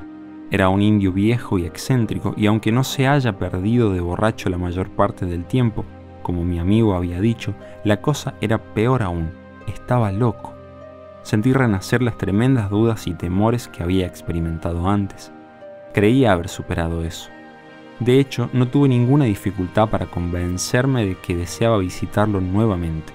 Sin embargo, la idea de que acaso yo mismo estaba algo loco se coló en mi mente cuando advertí que me gustaba estar con él. Su idea de que mi sentimiento de importancia era un obstáculo me había producido un verdadero impacto, pero todo eso era al parecer un mero ejercicio intelectual por parte mía. Apenas me hallaba cara a cara con su extraña conducta, empezaba a experimentar aprehensión y deseaba irme. Dije que éramos tan distintos que pensaba no había posibilidad de llevarnos bien. Uno de nosotros tiene que cambiar, dijo él mirando el suelo. Y tú sabes quién empezó a tararear una canción ranchera y de repente alzó la cabeza para mirarme. Sus ojos eran fieros y ardientes. Quise apartar los míos o cerrarlos, pero para mi completo asombro no pude zafarme de su mirada. Me pidió decirle lo que había visto en sus ojos. Dije que no vi nada, pero él insistió en que yo debía dar voz a aquello de lo que sus ojos me habían hecho darme cuenta.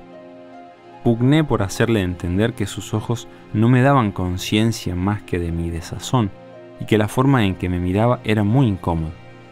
No me soltó, mantuvo la mirada fija. No era declaradamente maligna ni amenazante, era más bien un mirar misterioso pero desagradable. Me preguntó si no me recordaba un pájaro. ¿Un pájaro? exclamé. Soltó una risita de niño y apartó sus ojos de mí. Sí, dijo con suavidad. Un pájaro, un pájaro muy raro. Volvió a atrapar mis ojos con los suyos y me ordenó recordar. Dijo con extraordinaria convicción que él sabía que yo había visto antes esa mirada. Mi sentir de aquellos momentos era que el anciano me encolerizaba, pese a mi buena voluntad, cada vez que abría la boca. Me le quedé viendo con novio desafío. En vez de enojarse, echó a reír se golpeó el muslo y gritó como si cabalgara un potro salvaje. Luego se puso serio y me indicó la importancia suprema de que yo dejara de pelear con él y recordase aquel pájaro raro del cual hablaba. Mírame los ojos, dijo. Sus ojos eran extraordinariamente fieros. Tenían un aura que en verdad me recordaba algo, pero yo no estaba seguro de qué cosa era. Me esforcé un momento y entonces de pronto me di cuenta, no la forma de los ojos ni de la cabeza, sino cierta fría fiereza en la mirada me recordaba los ojos de un halcón, En el mismo instante en que lo advertí, don Juan me miraba de lado, y por un segundo mi mente experimentó un caos total. Creí haber visto las facciones de un halcón en vez de los de don Juan. La imagen fue demasiado fugaz y yo me hallaba demasiado sobresaltado para haberle prestado más atención. En tono de gran excitación, le dije que podría jurar haber visto las facciones de un halcón en su rostro. Él tuvo otro ataque de risa. He visto cómo miran los halcones. Solía cazarlos cuando era niño y en la opinión de mi abuelo me desempeñaba bastante bien. El abuelo tenía una granja de gallinas Leghorn y los halcones eran una amenaza para su negocio. Dispararles no era solo funcional, sino también justo. Yo había olvidado hasta ese momento que la fiera mirada de las aves me obsesionó durante años. Se hallaba en un pasado tan remoto que creía haber perdido memoria de ella. Yo cazaba halcones, dije. Lo sé, repuso don Juan como si tal cosa. Su tono contenía tal certeza que empecé a reír. Pensé que era un tipo absurdo. Tenía el descaro de hablar como si en verdad supiese que yo cazaba halcones. Lo desprecié enormemente. ¿Por qué te enojas tanto? preguntó en un tono de genuina preocupación. Yo ignoraba por qué. Él se puso a sondearme de un modo muy insólito. Me pidió mirarlo de nuevo y hablarle del pájaro muy raro que me recordaba. Luché contra él y, por despecho, dije que no había nada de qué hablar. Luego me sentí forzado a preguntarle por qué había dicho saber que yo solía cazar halcones. En lugar de responderme, volvió a comentar mi conducta. Dijo que yo era un tipo violento, capaz de echar espuma por la boca al menor pretexto. Protesté, negando que eso fuera cierto. Siempre había tenido la idea de ser bastante simpático y calmado. Dije que era culpa suya por sacarme de mis casillas con sus palabras y acciones inesperadas. ¿Por qué la ira? preguntó. Hice un avalúo de mis sentimientos y reacciones. Realmente no tenía necesidad de airarme con él. Insistió nuevamente en que mirara sus ojos y le hablara del extraño halcón. Había cambiado su fraseo el pájaro muy raro de que hablaba antes se había vuelto el extraño halcón. El cambio de palabras resumió un cambio en mi propio estado de ánimo. De repente me había puesto triste. Achicó los ojos hasta convertirlos en ranuras y dijo en tono sobreactuado que estaba viendo un halcón muy extraño. Repitió su afirmación tres veces, como si en verdad estuviera viéndolo allí frente a él. ¿No lo recuerdas? preguntó. Yo no recordaba nada por el estilo. ¿Qué de extraño tiene el halcón? Pregunté. Eso me lo debes decir tú, repuso. Insistí en que no tenía forma de saber a qué se refería. Por tanto, no podía decirle nada. No luches conmigo, dijo. Lucha contra tu pereza y recuerda. Durante un momento me esforcé seriamente por desentrañar su intención. No se me ocurrió que igual podría haber tratado de acordarme. En un tiempo viste muchos pájaros, dijo como apuntándome. Le dije que de niño vivía en una granja y cacé cientos de aves. Respondió que en tal caso no me costaría trabajo recordar a todas las aves raras que había cazado. Me miró con una pregunta en los ojos como si acabara de darme la última pista. He cazado tantos pájaros, dije, que no recuerdo nada de ellos. Este pájaro es especial, repuso casi en un susurro. Este pájaro es un halcón. Nuevamente me puse a pensar a dónde querría llevarme. ¿Se burlaba? ¿Hablaba en serio? Tras un largo intervalo, me instó otra vez a recordar. Sentí que era inútil tratar de acabar con su juego, solo me quedaba jugar con él. ¿Habla usted de un halcón que yo he cazado? Pregunté. Sí, murmuró con los ojos cerrados. ¿De modo que esto pasó cuando yo era niño? Sí, pero usted dijo que está viendo ahora un halcón frente a usted. Lo veo. ¿Qué trata usted de hacerme? Trato de hacerte recordar. ¿Qué cosa, por amor de Dios? Un halcón rápido como la luz, dijo mirándome a los ojos. Sentí que mi corazón se detenía. Ahora mírame, dijo pero no lo hice. Percibía su voz como un sonido leve. Cierto recuerdo colosal se había posesionado de mí. El halcón blanco. Todo empezó con el estallido de ira que tuvo mi abuelo al contar sus pollos Leghorn. Habían estado desapareciendo en forma continua y desconcertante. Él organizó y ejecutó personalmente una meticulosa vigilia y tras días de observación constante vimos finalmente una gran ave blanca que se alejaba volando con un pollo en las garras. El ave era rauda y al parecer conocía su ruta. Descendió desde el cobijo de unos árboles, aferró el pollo y voló por una abertura entre dos ramas. Ocurrió tan rápido que mi abuelo casi ni vio al ave, pero yo sí, y supe que era en verdad un halcón. Mi abuelo dijo que, en ese caso, debía ser un albino. Iniciamos una campaña contra el halcón albino y dos veces creí tenerlo cazado. Incluso dejó caer la presa, pero escapó. Era demasiado veloz para mí. También era muy inteligente. Nunca regresó a asolar la granja de mi abuelo. Yo habría olvidado el asunto si el abuelo no me hubiese aguijoneado a cazar el ave. Durante dos meses perseguí el halcón albino por todo el valle donde vivíamos. Aprendí sus hábitos y casi me era imposible intuir su ruta de vuelo, pero su velocidad y lo brusco de sus apariciones siempre me desconcertaban. Podía yo alardear de haberle impedido cobrar su presa, quizá todas las veces que nos encontramos, pero nunca logré echarlo en mi morral.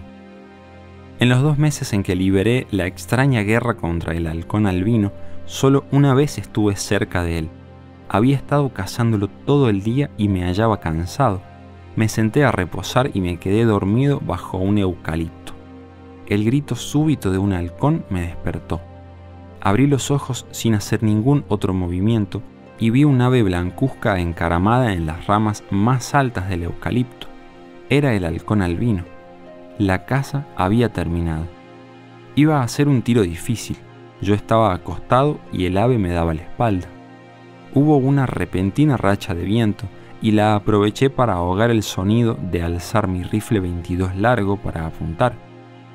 Quería esperar que el halcón se volviera o empezara a volar para no fallarle, pero el ave permaneció inmóvil. Para mejor dispararle habría tenido que moverme y era demasiado rápida para ello pensé que mi mejor alternativa era aguardar. Y eso hice durante un tiempo largo, interminable. ¿Acaso me afectó la prolongada espera? O quizá fue la soledad del sitio donde el halcón y yo nos hallábamos. De pronto sentí un escalofrío ascender por mi espina y, en una acción sin precedente, me puse en pie y me fui. Ni siquiera vi si el halcón había volado. Jamás atribuí ningún significado a mi acto final con el halcón albino, pero fue muy raro que no le disparara. Yo había matado antes docenas de halcones. En la granja donde crecí, matar aves o cazar cualquier tipo de animal era cosa común y corriente. Don Juan escuchó atentamente mientras yo narraba la historia del halcón albino. ¿Cómo supo usted el halcón blanco? Pregunté al terminar. Lo vi, repuso. ¿Dónde? Aquí mismo, frente a ti.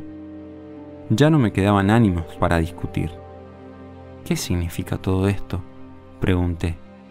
Él dijo que un ave blanca como esa era un augurio y que no dispararle era lo único correcto que podía hacerse. Tu muerte te dio una pequeña advertencia, dijo con tono misterioso. Siempre llega como escalofrío. ¿De qué habla usted? dije con nerviosismo.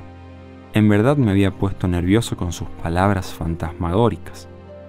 Conoces mucho de aves, dijo. Has matado demasiadas. Sabes esperar. Has esperado pacientemente horas enteras. Lo sé, lo estoy viendo. Sus palabras me produjeron gran turbación. Pensé que lo más molesto en él era su certeza. No soportaba yo su seguridad dogmática con respecto a elementos de mi vida de los que ni yo mismo estaba seguro. Inmerso en mis sentimientos de depresión, no lo vi inclinarse sobre mí hasta que me susurró algo al oído. No entendí el principio, y él lo repitió. Me dijo que volviera la cabeza como al descuido y mirara un peñasco a mi izquierda. Dijo que mi muerte estaba allí, mirándome, y que si me volvía cuando él me hiciera una seña, tal vez fuese capaz de verla. Me hizo una seña con los ojos. Volví la cara y me pareció ver un movimiento parpadeante sobre el peñasco. Un escalofrío recorrió mi cuerpo. Los músculos de mi abdomen se contrajeron involuntariamente y experimenté una sacudida, un espasmo. Tras un momento recobré la compostura y expliqué la sombra fugaz que había visto como una ilusión óptica causada por volver la cabeza tan repentinamente.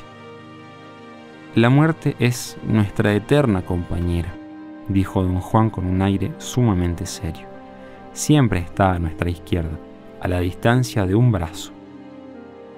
Te vigilaba cuando tú vigilabas al halcón blanco. Te susurró en la oreja y sentiste su frío, como lo sentiste hoy. Siempre te ha estado vigilando.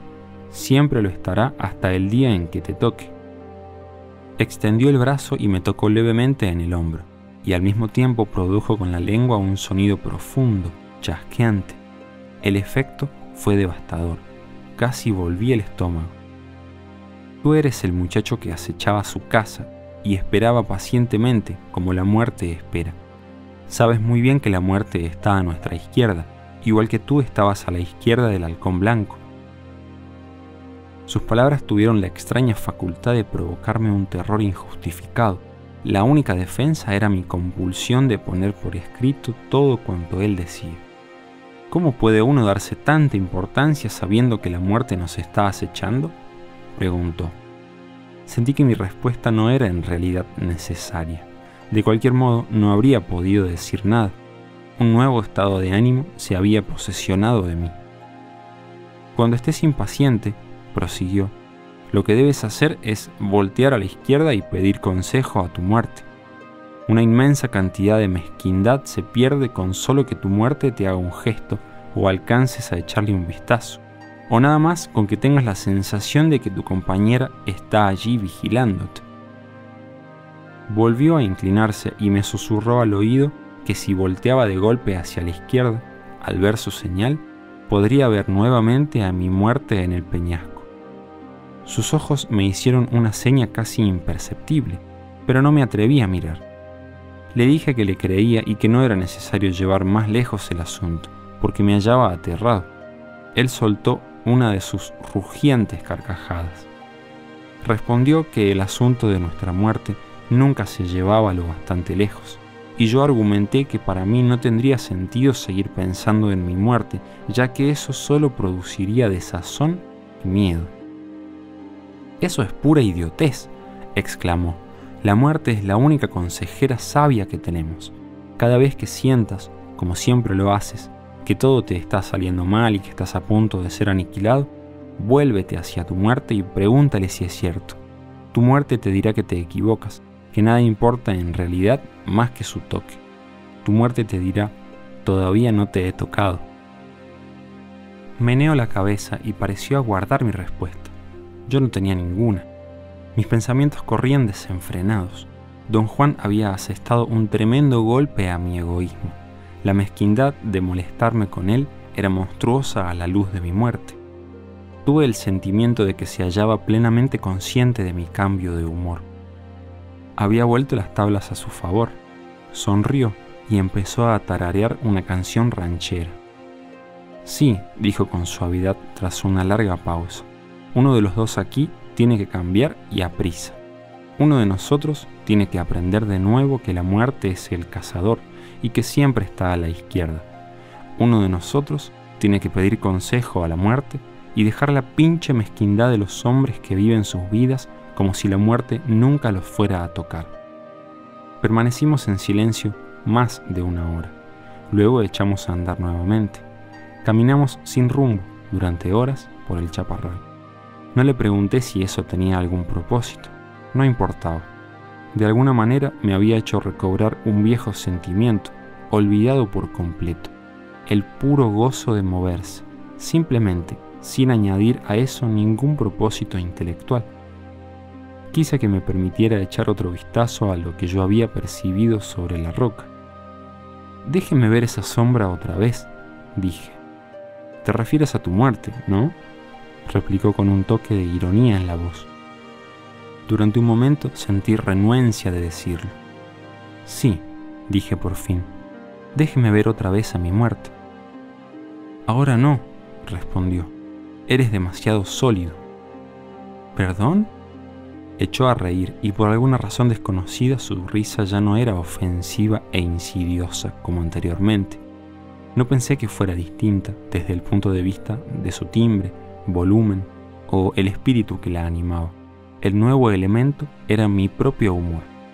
En vista de mi muerte inminente, los miedos y la irritación eran tonterías. Entonces déjame hablar con las plantas, dije, y rió a más no poder. Ahora eres demasiado bueno, dijo aún entre risas. Te vas de un extremo al otro. Apacíguate, no hay necesidad de hablar con las plantas a menos que quieras conocer sus secretos, y para eso necesitas el más recio de los empeños. Con que guárdate tus buenos deseos. Tampoco hay necesidad de ver a tu muerte. Basta con que sientas su presencia cerca de ti.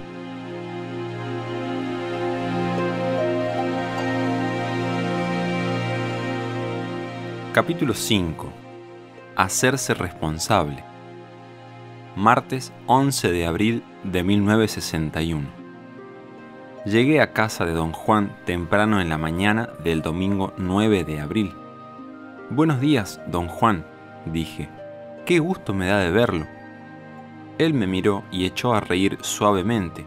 Se había acercado a mi coche cuando yo lo estacionaba y mantuvo la puerta abierta mientras yo reunía unos paquetes de comida que le llevaba.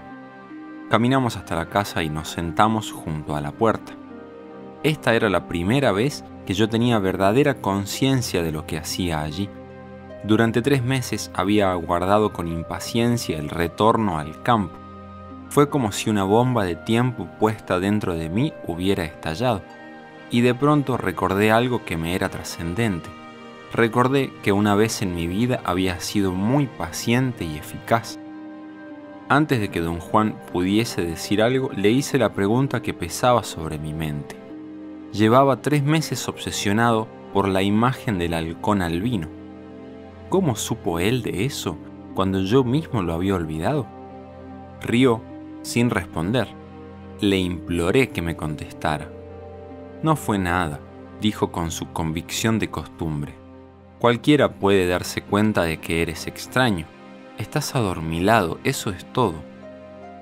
Sentí que nuevamente estaba minando mis defensas y empujándome a un rincón donde yo no tenía deseos de hallarme. ¿Es posible ver nuestra muerte?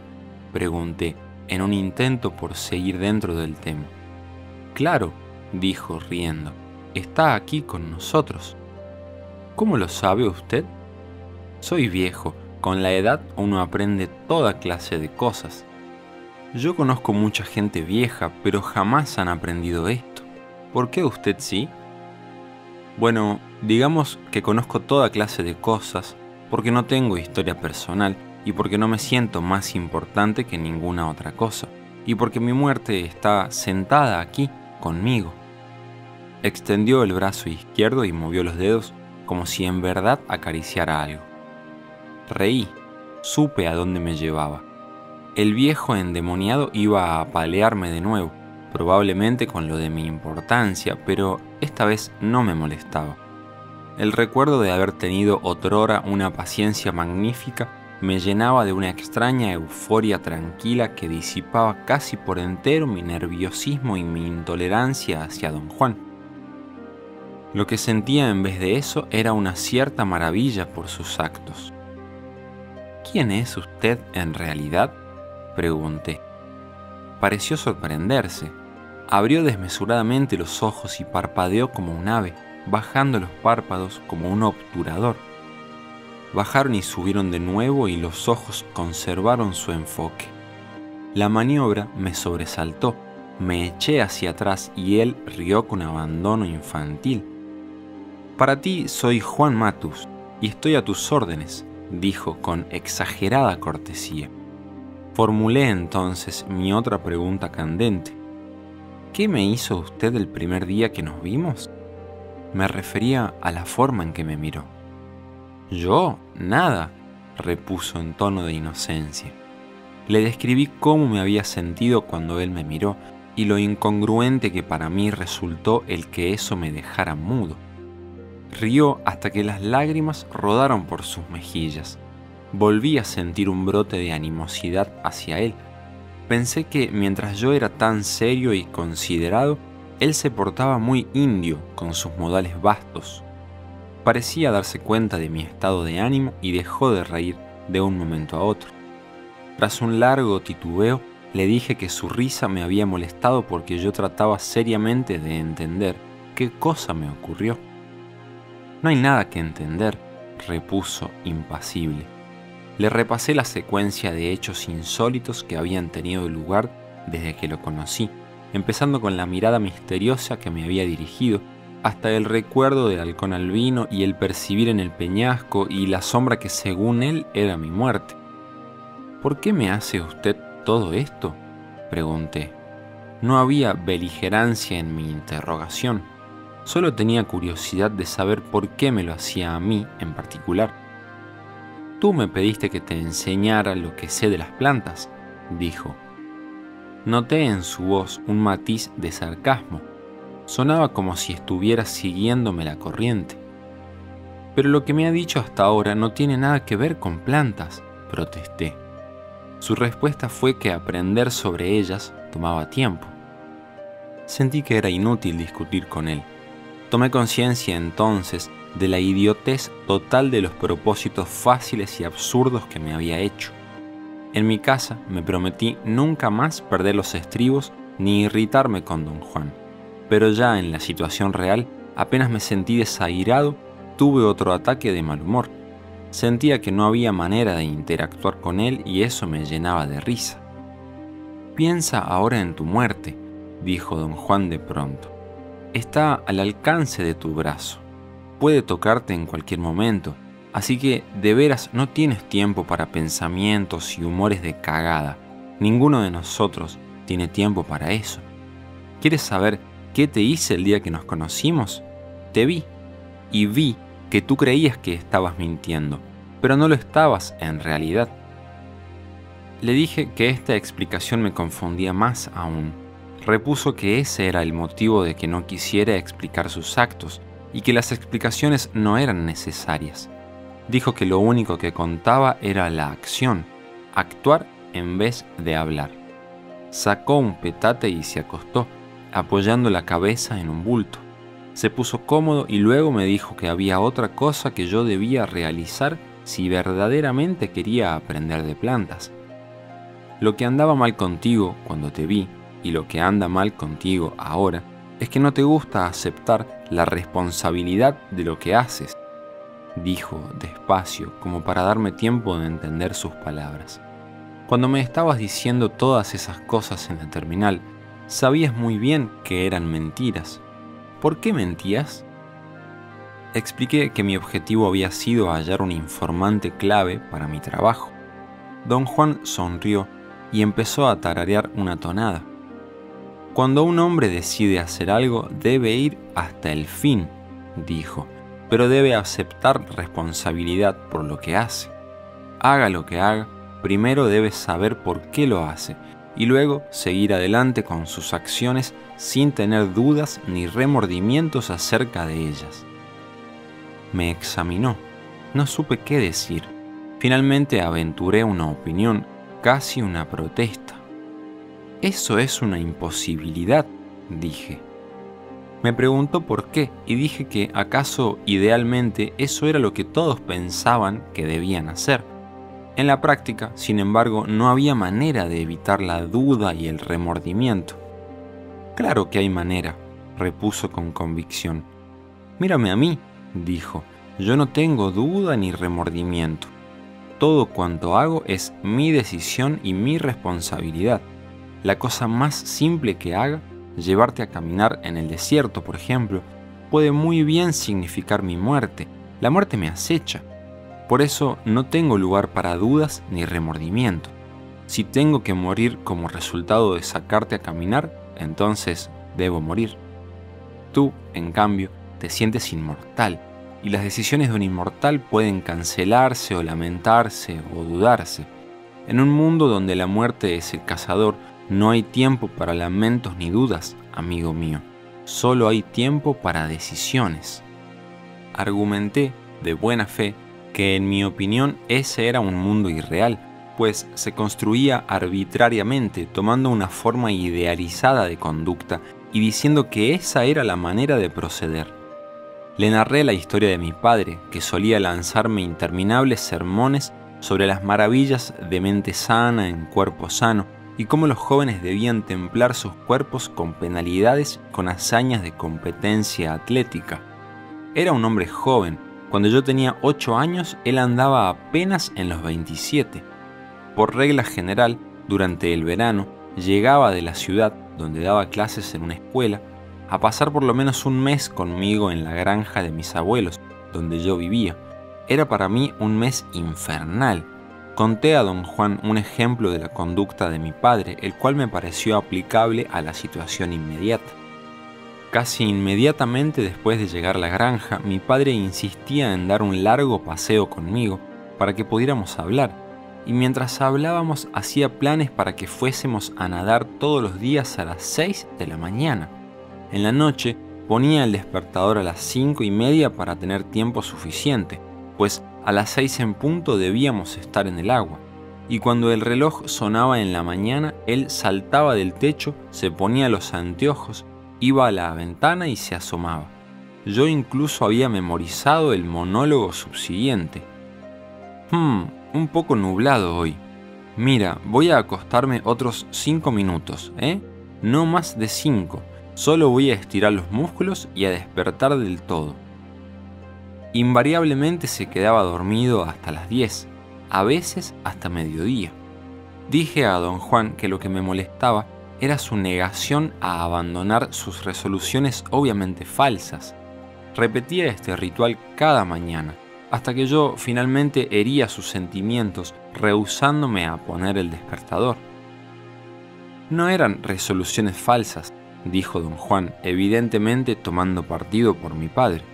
Nada más no sabía cómo levantarse de la cama, eso era todo. En cualquier caso, dije, siempre recelo a las resoluciones irreales. ¿Cuál sería entonces una resolución real? preguntó don Juan con leve sonrisa. Si mi padre se hubiera dicho que no podía ir a nadar a las seis de la mañana, sino tal vez a las tres de la tarde. Tus resoluciones dañan el espíritu, dijo don Juan con aire de gran seriedad. Me pareció incluso percibir en su tono una nota de tristeza. Estuvimos callados largo tiempo. Mi inquina se había desvanecido. Pensé en mi padre. No quería nadar a las 3 de la tarde, ¿no ves? dijo don Juan. Sus palabras me hicieron saltar. Le dije que mi padre era débil y lo mismo su mundo de actos ideales jamás ejecutados. Hablé casi a gritos. Don Juan no dijo una sola palabra. Sacudió la cabeza lentamente en forma rítmica. Me sentí terriblemente triste. El pensar en mi padre siempre me afligía mientras que tú eras más fuerte, ¿verdad? preguntó él en tono casual. Le dije que sí y empecé a narrarle toda la turbulencia emotiva que mi padre me hizo atravesar, pero él me interrumpió. ¿Era malo contigo? preguntó. No. ¿Era mezquino contigo? No. ¿Hacía por ti todo lo que podía? Sí. Entonces, ¿qué tenía de malo? De nuevo empecé a gritar que era débil, pero me contuve y bajé la voz. Me sentía un poco ridículo ante el interrogatorio de don Juan. ¿Para qué hace usted todo esto? dije. Se supone que deberíamos estar hablando de plantas. Me sentía más molesto y deprimido que nunca. Le dije que él no tenía motivo alguno ni la más mínima capacidad para juzgar mi conducta y estalló en una carcajada. Cuando te enojas siempre te crees en lo justo, ¿verdad? dijo y parpadeó como ave. Estaba en lo cierto, yo tenía la tendencia a sentirme justificado por mi enojo. No hablemos de mi padre, dije, fingiendo buen humor. Hablemos de plantas. No, hablemos de tu padre, insistió él. ese es el sitio donde hay que comenzar hoy. Si piensas que eras mucho más fuerte que él, ¿por qué no ibas a nadar a las 6 de la mañana en lugar suyo? Le dije que no podía creer que me estuviera preguntando eso en serio. Siempre había pensado que nadar a las 6 de la mañana era asunto de mi padre, no mío. También era asunto tuyo desde el momento en que aceptaste su idea, dijo don Juan con brusquedad. Repuse que nunca la había aceptado, que siempre había sabido que mi padre no era veraz consigo mismo. Don Juan me preguntó, como si tal cosa, por qué no había yo expresado entonces mis opiniones. Uno no le dice esas cosas a su padre, dije en débil explicación. ¿Por qué no? Eso no se hacía en mi casa, eso es todo. Tú has hecho cosas peores en tu casa, declaró como un juez desde el tribunal. Lo único que nunca hiciste fue lustrar tu espíritu. Sus palabras, llenas de fuerza devastadora, resonaron en mi mente.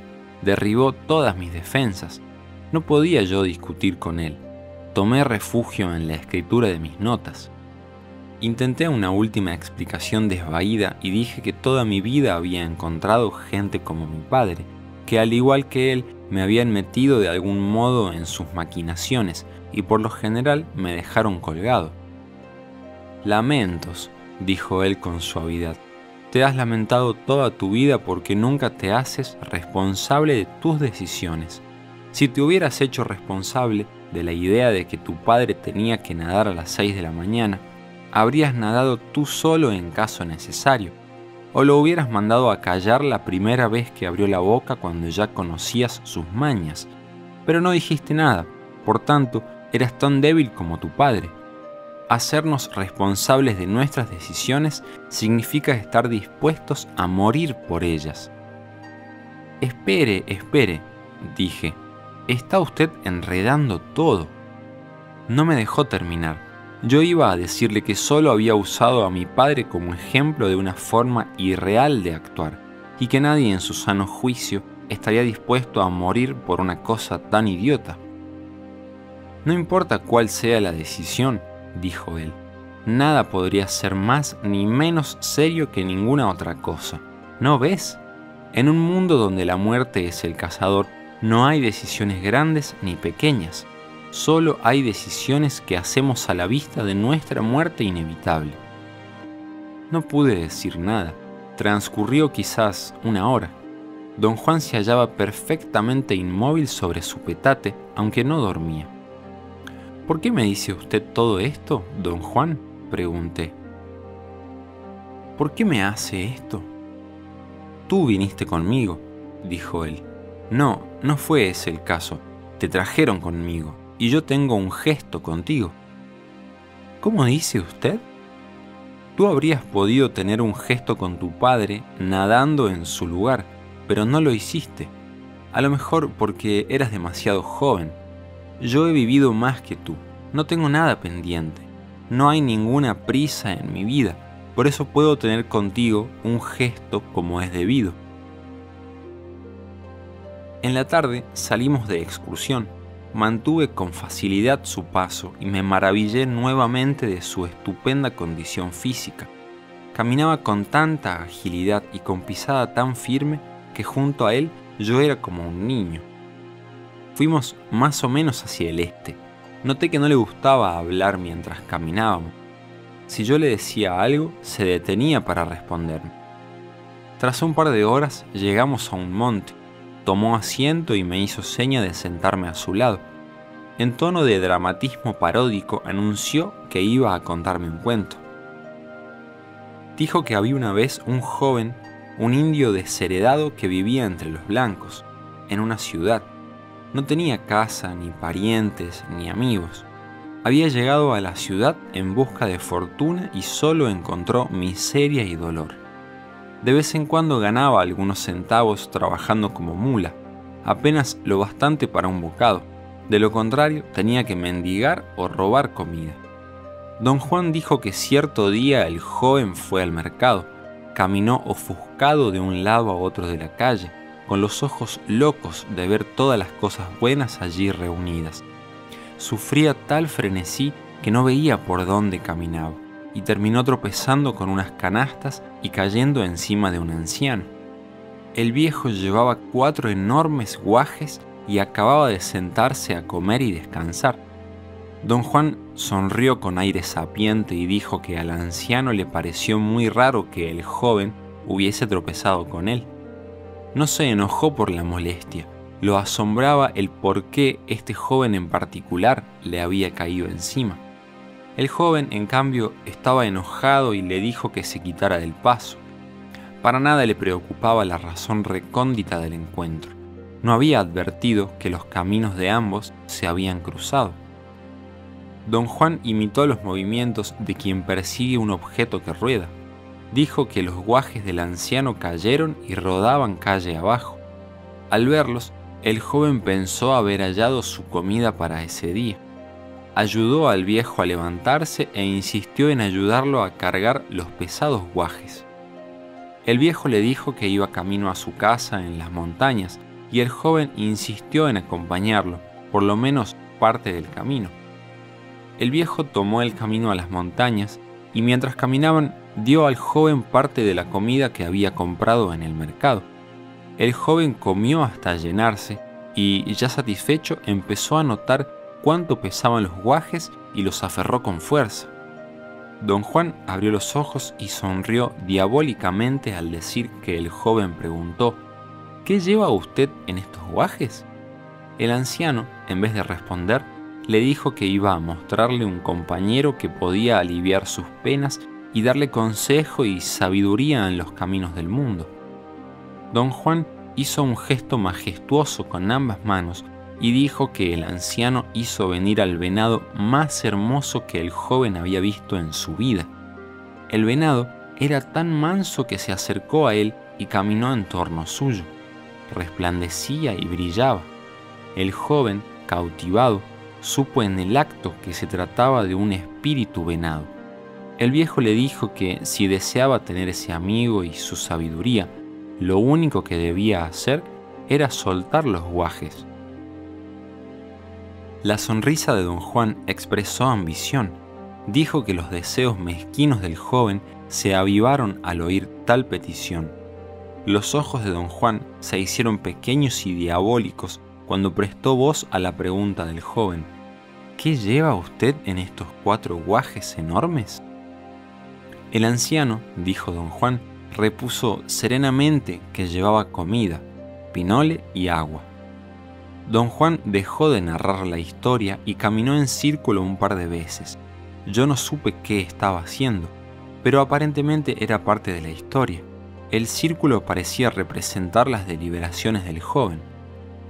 Don Juan dijo que, por supuesto, el joven no creyó una sola palabra.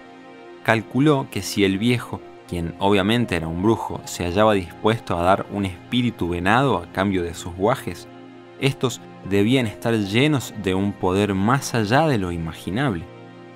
Don Juan contrajo nuevamente su rostro en una sonrisa demoníaca y dijo que el joven declaró que deseaba quedarse con los guajes.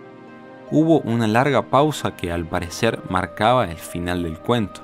Don Juan permaneció callado, pero me sentí seguro de que deseaba una pregunta mía, y la hice.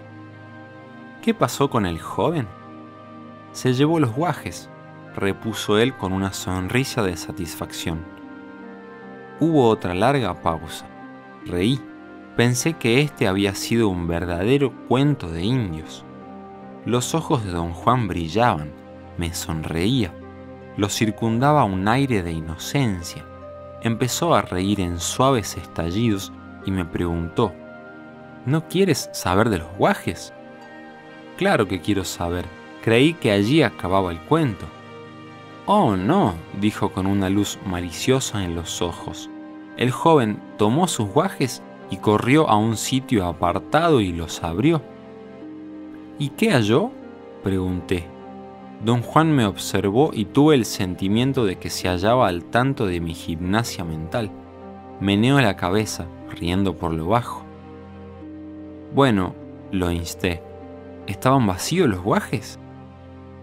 Solo había pinole y agua dentro de los guajes, dijo él, y el joven, en un arranque de furia, los rompió contra las piedras.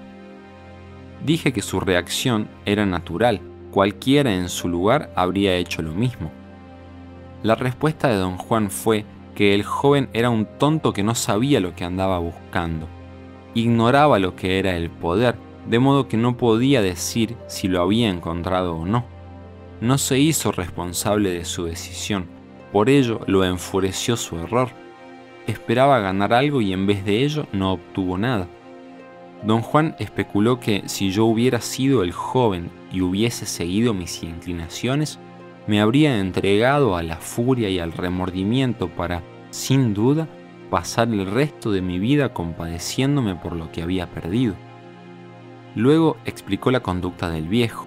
Astutamente alimentó al joven para darle el valor de un estómago lleno, de modo que el joven, al hallar solo comida en los guajes, los rompió en un arrebato de ira. Si hubiera estado consciente de su decisión y se hubiera hecho responsable de ella, dijo don Juan, se habría dado por bien satisfecho con la comida y a lo mejor hasta se hubiera dado cuenta de que esa comida también era poder.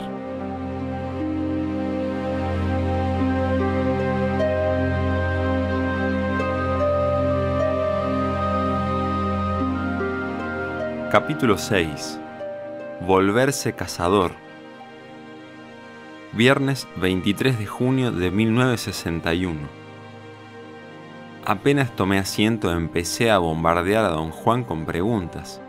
Él no respondió y con un ademán impaciente me indicó guardar silencio. Parecía estar de humor grave. Estaba pensando que no has cambiado nada en el tiempo que llevas tratando de aprender los asuntos de las plantas dijo en tono acusador. Empezó a pasar revista en alta voz a todos los cambios de personalidad que me había recomendado emprender. Dije que había considerado muy seriamente el asunto y hallado que no me era posible cumplirlos porque cada uno era contrario a mi esencia. Replicó que considerar el asunto no era suficiente y que lo que me había dicho no era ningún chiste, Insistí en que, pese a lo poco que había hecho en lo referente a ajustar mi vida personal a sus ideas, yo quería realmente aprender los usos de las plantas. Tras un silencio largo e incómodo, le pregunté con audacia, ¿Me va usted a enseñar cómo usar el peyote, don Juan? Dijo que mis intenciones por sí solas no eran suficientes y que conocer los asuntos del peyote lo llamó mezcalito por vez primera, era cosa seria. Al parecer no había nada más que decir. Pero al anochecer me puso una prueba. Planteó un problema sin darme ninguna pista para su resolución. Hallar un sitio benéfico en el área frente a su puerta, donde siempre nos sentábamos a hablar. Un sitio donde supuestamente pudiera sentirme perfectamente feliz y vigorizado. Durante el curso de la noche, mientras rodaba en el suelo tratando de hallar el sitio, noté dos veces un cambio de coloración en el piso de tierra, uniformemente oscuro, del área designada. El problema me agotó y me quedé dormido en uno de los lugares donde percibí el cambio de color. En la mañana, don Juan me despertó para anunciar que mi experiencia había tenido gran éxito no solo había hallado el sitio benéfico que buscaba, sino también su opuesto, un sitio enemigo o negativo y los colores asociados con ambos. Sábado 24 de junio de 1961. Temprano en la mañana salimos al chaparral. Mientras caminábamos, don Juan me explicó que hallar un sitio benéfico o enemigo era una importante necesidad para un hombre en el desierto. Quise llevar la conversación hacia el tema del peyote, pero él rehusó de plano hablar de eso. Me advirtió que no debía hacer mención del asunto, a menos que él mismo lo planteara. Nos sentamos a descansar a la sombra de unos arbustos altos, en una zona de vegetación densa. El chaparral en torno no estaba aún enteramente seco. El día era caluroso y las moscas me acosaban de continuo, pero no parecían molestar a don Juan. Me pregunté si él simplemente las ignoraba, pero luego advertí que no se posaban jamás en su rostro. A veces es necesario hallar a prisa un sitio benéfico, a campo abierto, prosiguió don Juan. O a lo mejor es necesario determinar a prisa si el sitio en que uno va a descansar es o no un mal sitio. Una vez nos sentamos a descansar junto a un cerro y tú te pusiste muy enojado y molesto. Ese sitio era enemigo tuyo. Un cuervito te lo advirtió, ¿recuerdas? Recordé que él me había dicho con énfasis que evitase en lo futuro aquella zona. También recordé haberme enojado porque don Juan no me dejó reír. Creí que el cuervo que pasó volando en esa ocasión era una señal para mí solo, dijo. Nunca se me hubiera ocurrido pensar que los cuervos fuesen también amigos tuyos. ¿De qué habla usted? El cuervo era un augurio, prosiguió. Si supieras cómo son los cuervos, le habría huido a ese sitio como a la peste. Pero no siempre hay cuervos que den la advertencia, y tú debes aprender a hallar por ti mismo un sitio apropiado para acampar o descansar. Tras una larga pausa, don Juan se volvió de repente hacia mí y dijo que para hallar el sitio apropiado donde descansar, solo tenía uno que cruzar los ojos. Me dirigió una mirada sapiente y, en tono confidencial, dijo que yo había hecho precisamente eso cuando rodaba en el pórtico de su casa y que así pude hallar dos sitios y sus colores. Me hizo saber que mi hazaña lo impresionaba. No sé en verdad qué cosa hice, dije. Cruzaste los ojos, repitió con énfasis. Esa es la técnica, eso debes haber hecho, aunque no te acuerdes. Don Juan me describió la técnica, cuyo perfeccionamiento llevaba años consistía en forzar gradualmente a los ojos a ver por separado la misma imagen. La carencia de conversión en la imagen involucraba una percepción doble del mundo. Esta doble percepción, según don Juan, daba a uno oportunidad de evaluar cambios en el entorno, que los ojos eran por lo común incapaces de percibir. Don Juan me animó a hacer la prueba, me aseguró que no dañaba la vista dijo que yo debía empezar lanzando miradas cortas, casi con el rabo del ojo. Señaló un gran arbusto y me puso el ejemplo. Tuve un sentimiento extraño al verlo dirigir miradas increíblemente rápidas al arbusto. Sus ojos me recordaban los de un animal mañoso que no puede mirar de frente. Caminamos cosa de una hora mientras yo trataba de no enfocar mi vista en nada. Luego, don Juan me pidió empezar a separar las imágenes percibidas por cada uno de mis ojos. Después de otra hora o algo así, me dio una jaqueca terrible y tuve que pararme. ¿Crees que podrías hallar tú solo un sitio apropiado para que descansemos? preguntó. Yo no tenía idea de cuál era el criterio acerca de un sitio apropiado. Me explicó pacientemente que mirar en vistazos cortos permitía a los ojos apresar visiones insólitas. ¿Cómo qué? pregunté. No son visiones propiamente dichas, dijo él, son más bien sensaciones. Si miras un arbusto o un árbol o una piedra donde tal vez te gustaría descansar, tus ojos pueden darte a sentir si ese es o no el mejor sitio de reposo. De nuevo lo insté a describir qué eran aquellas sensaciones pero él no podía describirlas o bien sencillamente no quería.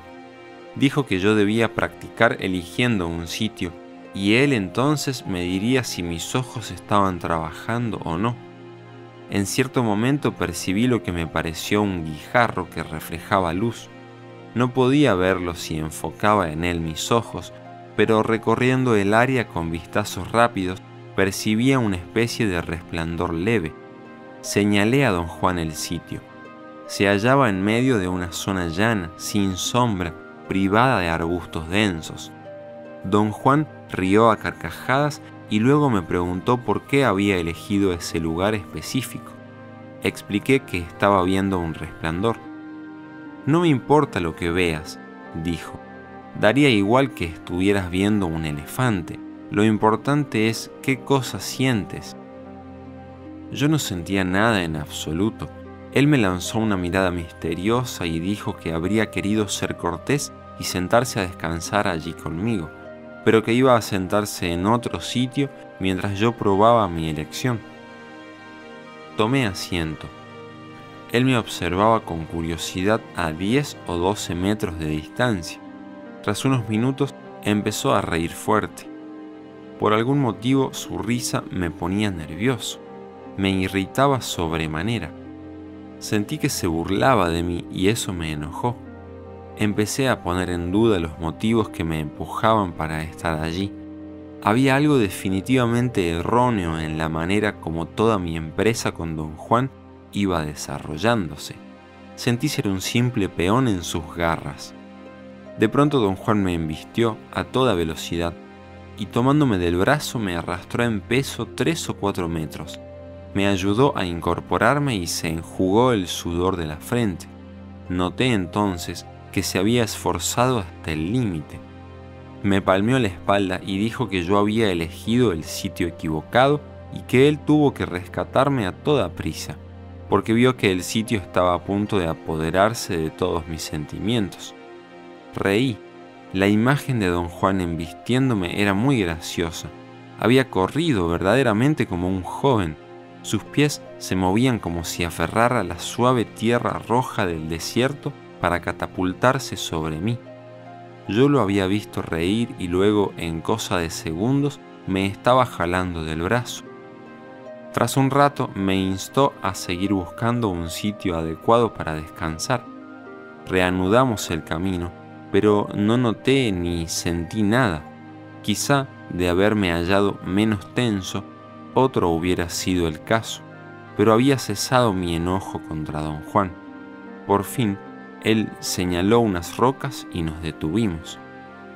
No te descorazones, dijo Lleva mucho tiempo educar a los ojos como se debe. No dije nada, no iba a descorazonarme por algo que no entendía en modo alguno. Sin embargo, debía admitir que ya en tres ocasiones, desde que comenzaron mis visitas a don Juan, me había enojado mucho y me había agitado casi hasta el punto de enfermarme, hallándome sentado en sitios que él llamaba malos, el truco es sentir con los ojos, dijo. Tu problema es el no saber qué sentir, pero ya te vendrá, con la práctica. Quizá usted debería decirme, don Juan, qué es lo que debo sentir.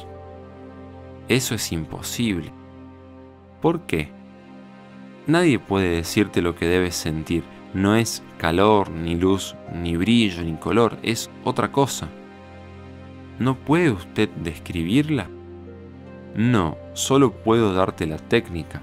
Una vez que aprendas a separar las imágenes y veas dos de cada cosa, debes poner atención en el espacio entre las dos imágenes.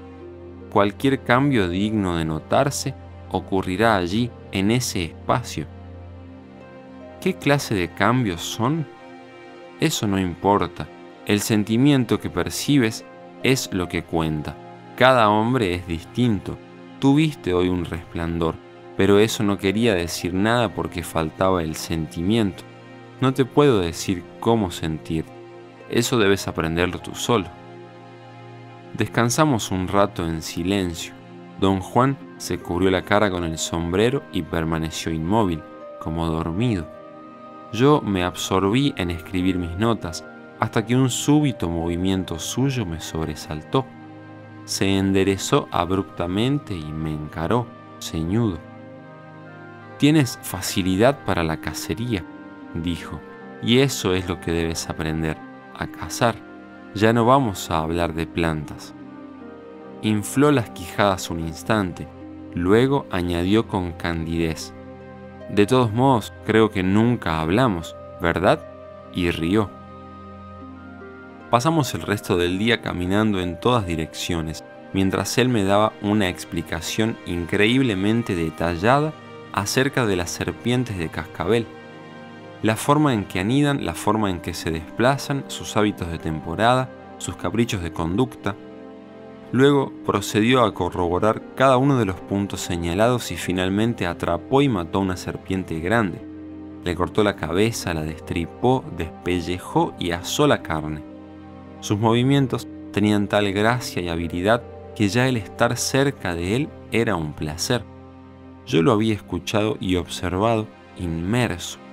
Mi concentración era tan completa que el resto del mundo había desaparecido prácticamente para mí. Comer la serpiente fue un duro retorno al mundo de los asuntos ordinarios. Sentí náusea al empezar a mascar un bocado de carne. El asco no tenía fundamento, pues la carne era deliciosa, pero mi estómago parecía ser una unidad independiente. Apenas me fue posible pasarlo.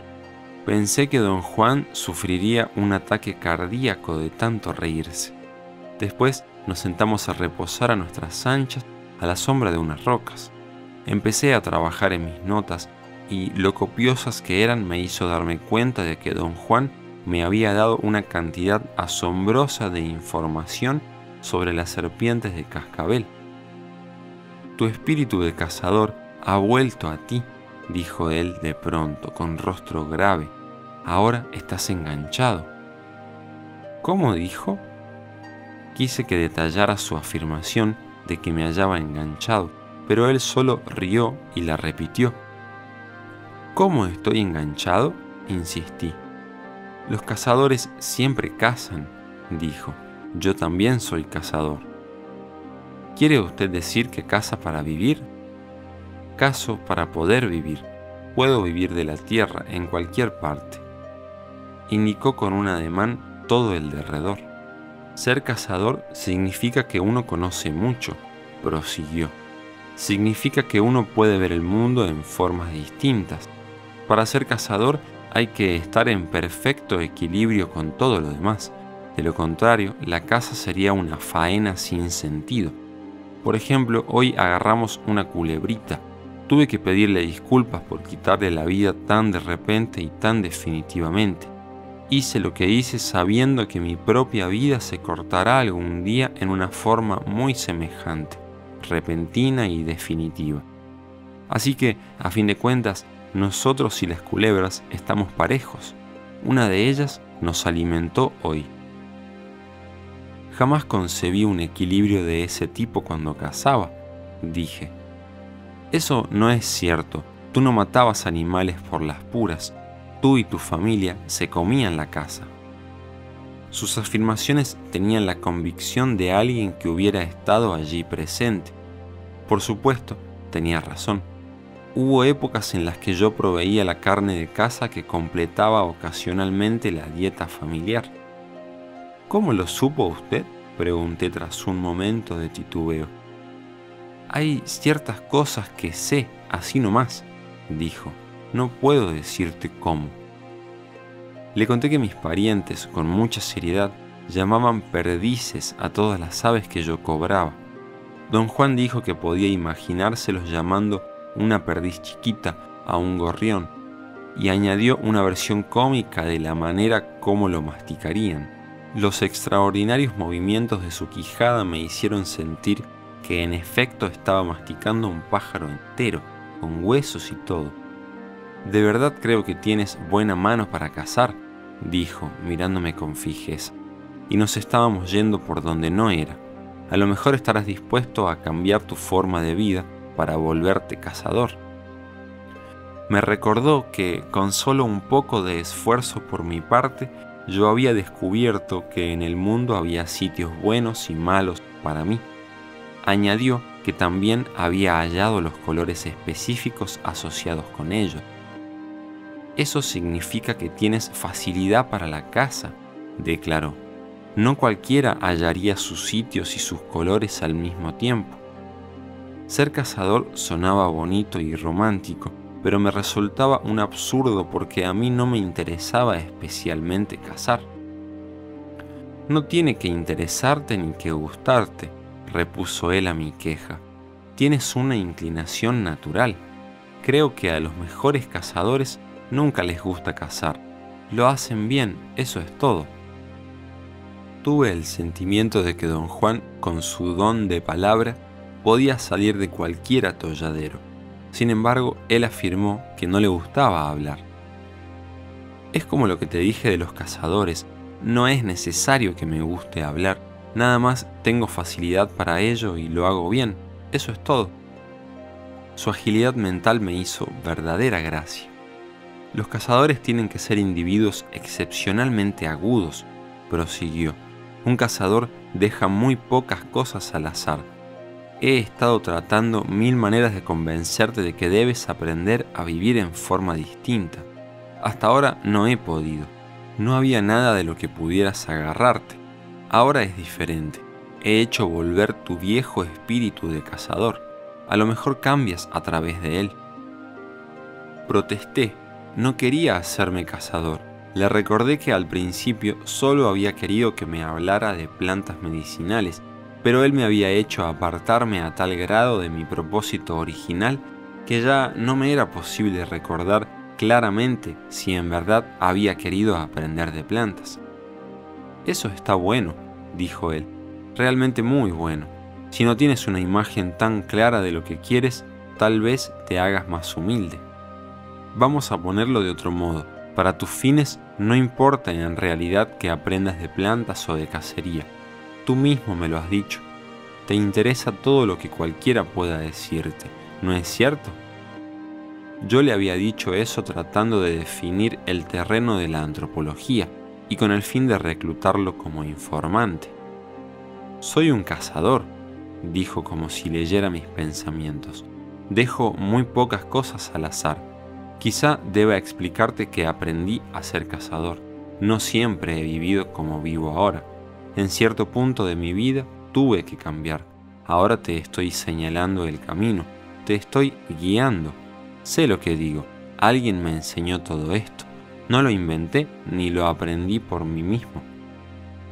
¿Qué quiere decir, don Juan, que tuvo un maestro?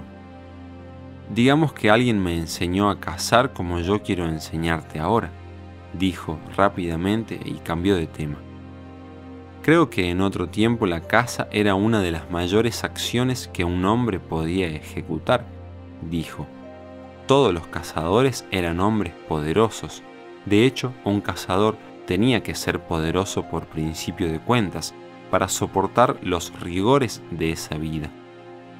De pronto se me despertó la curiosidad ¿Se refería acaso a una época anterior a la conquista?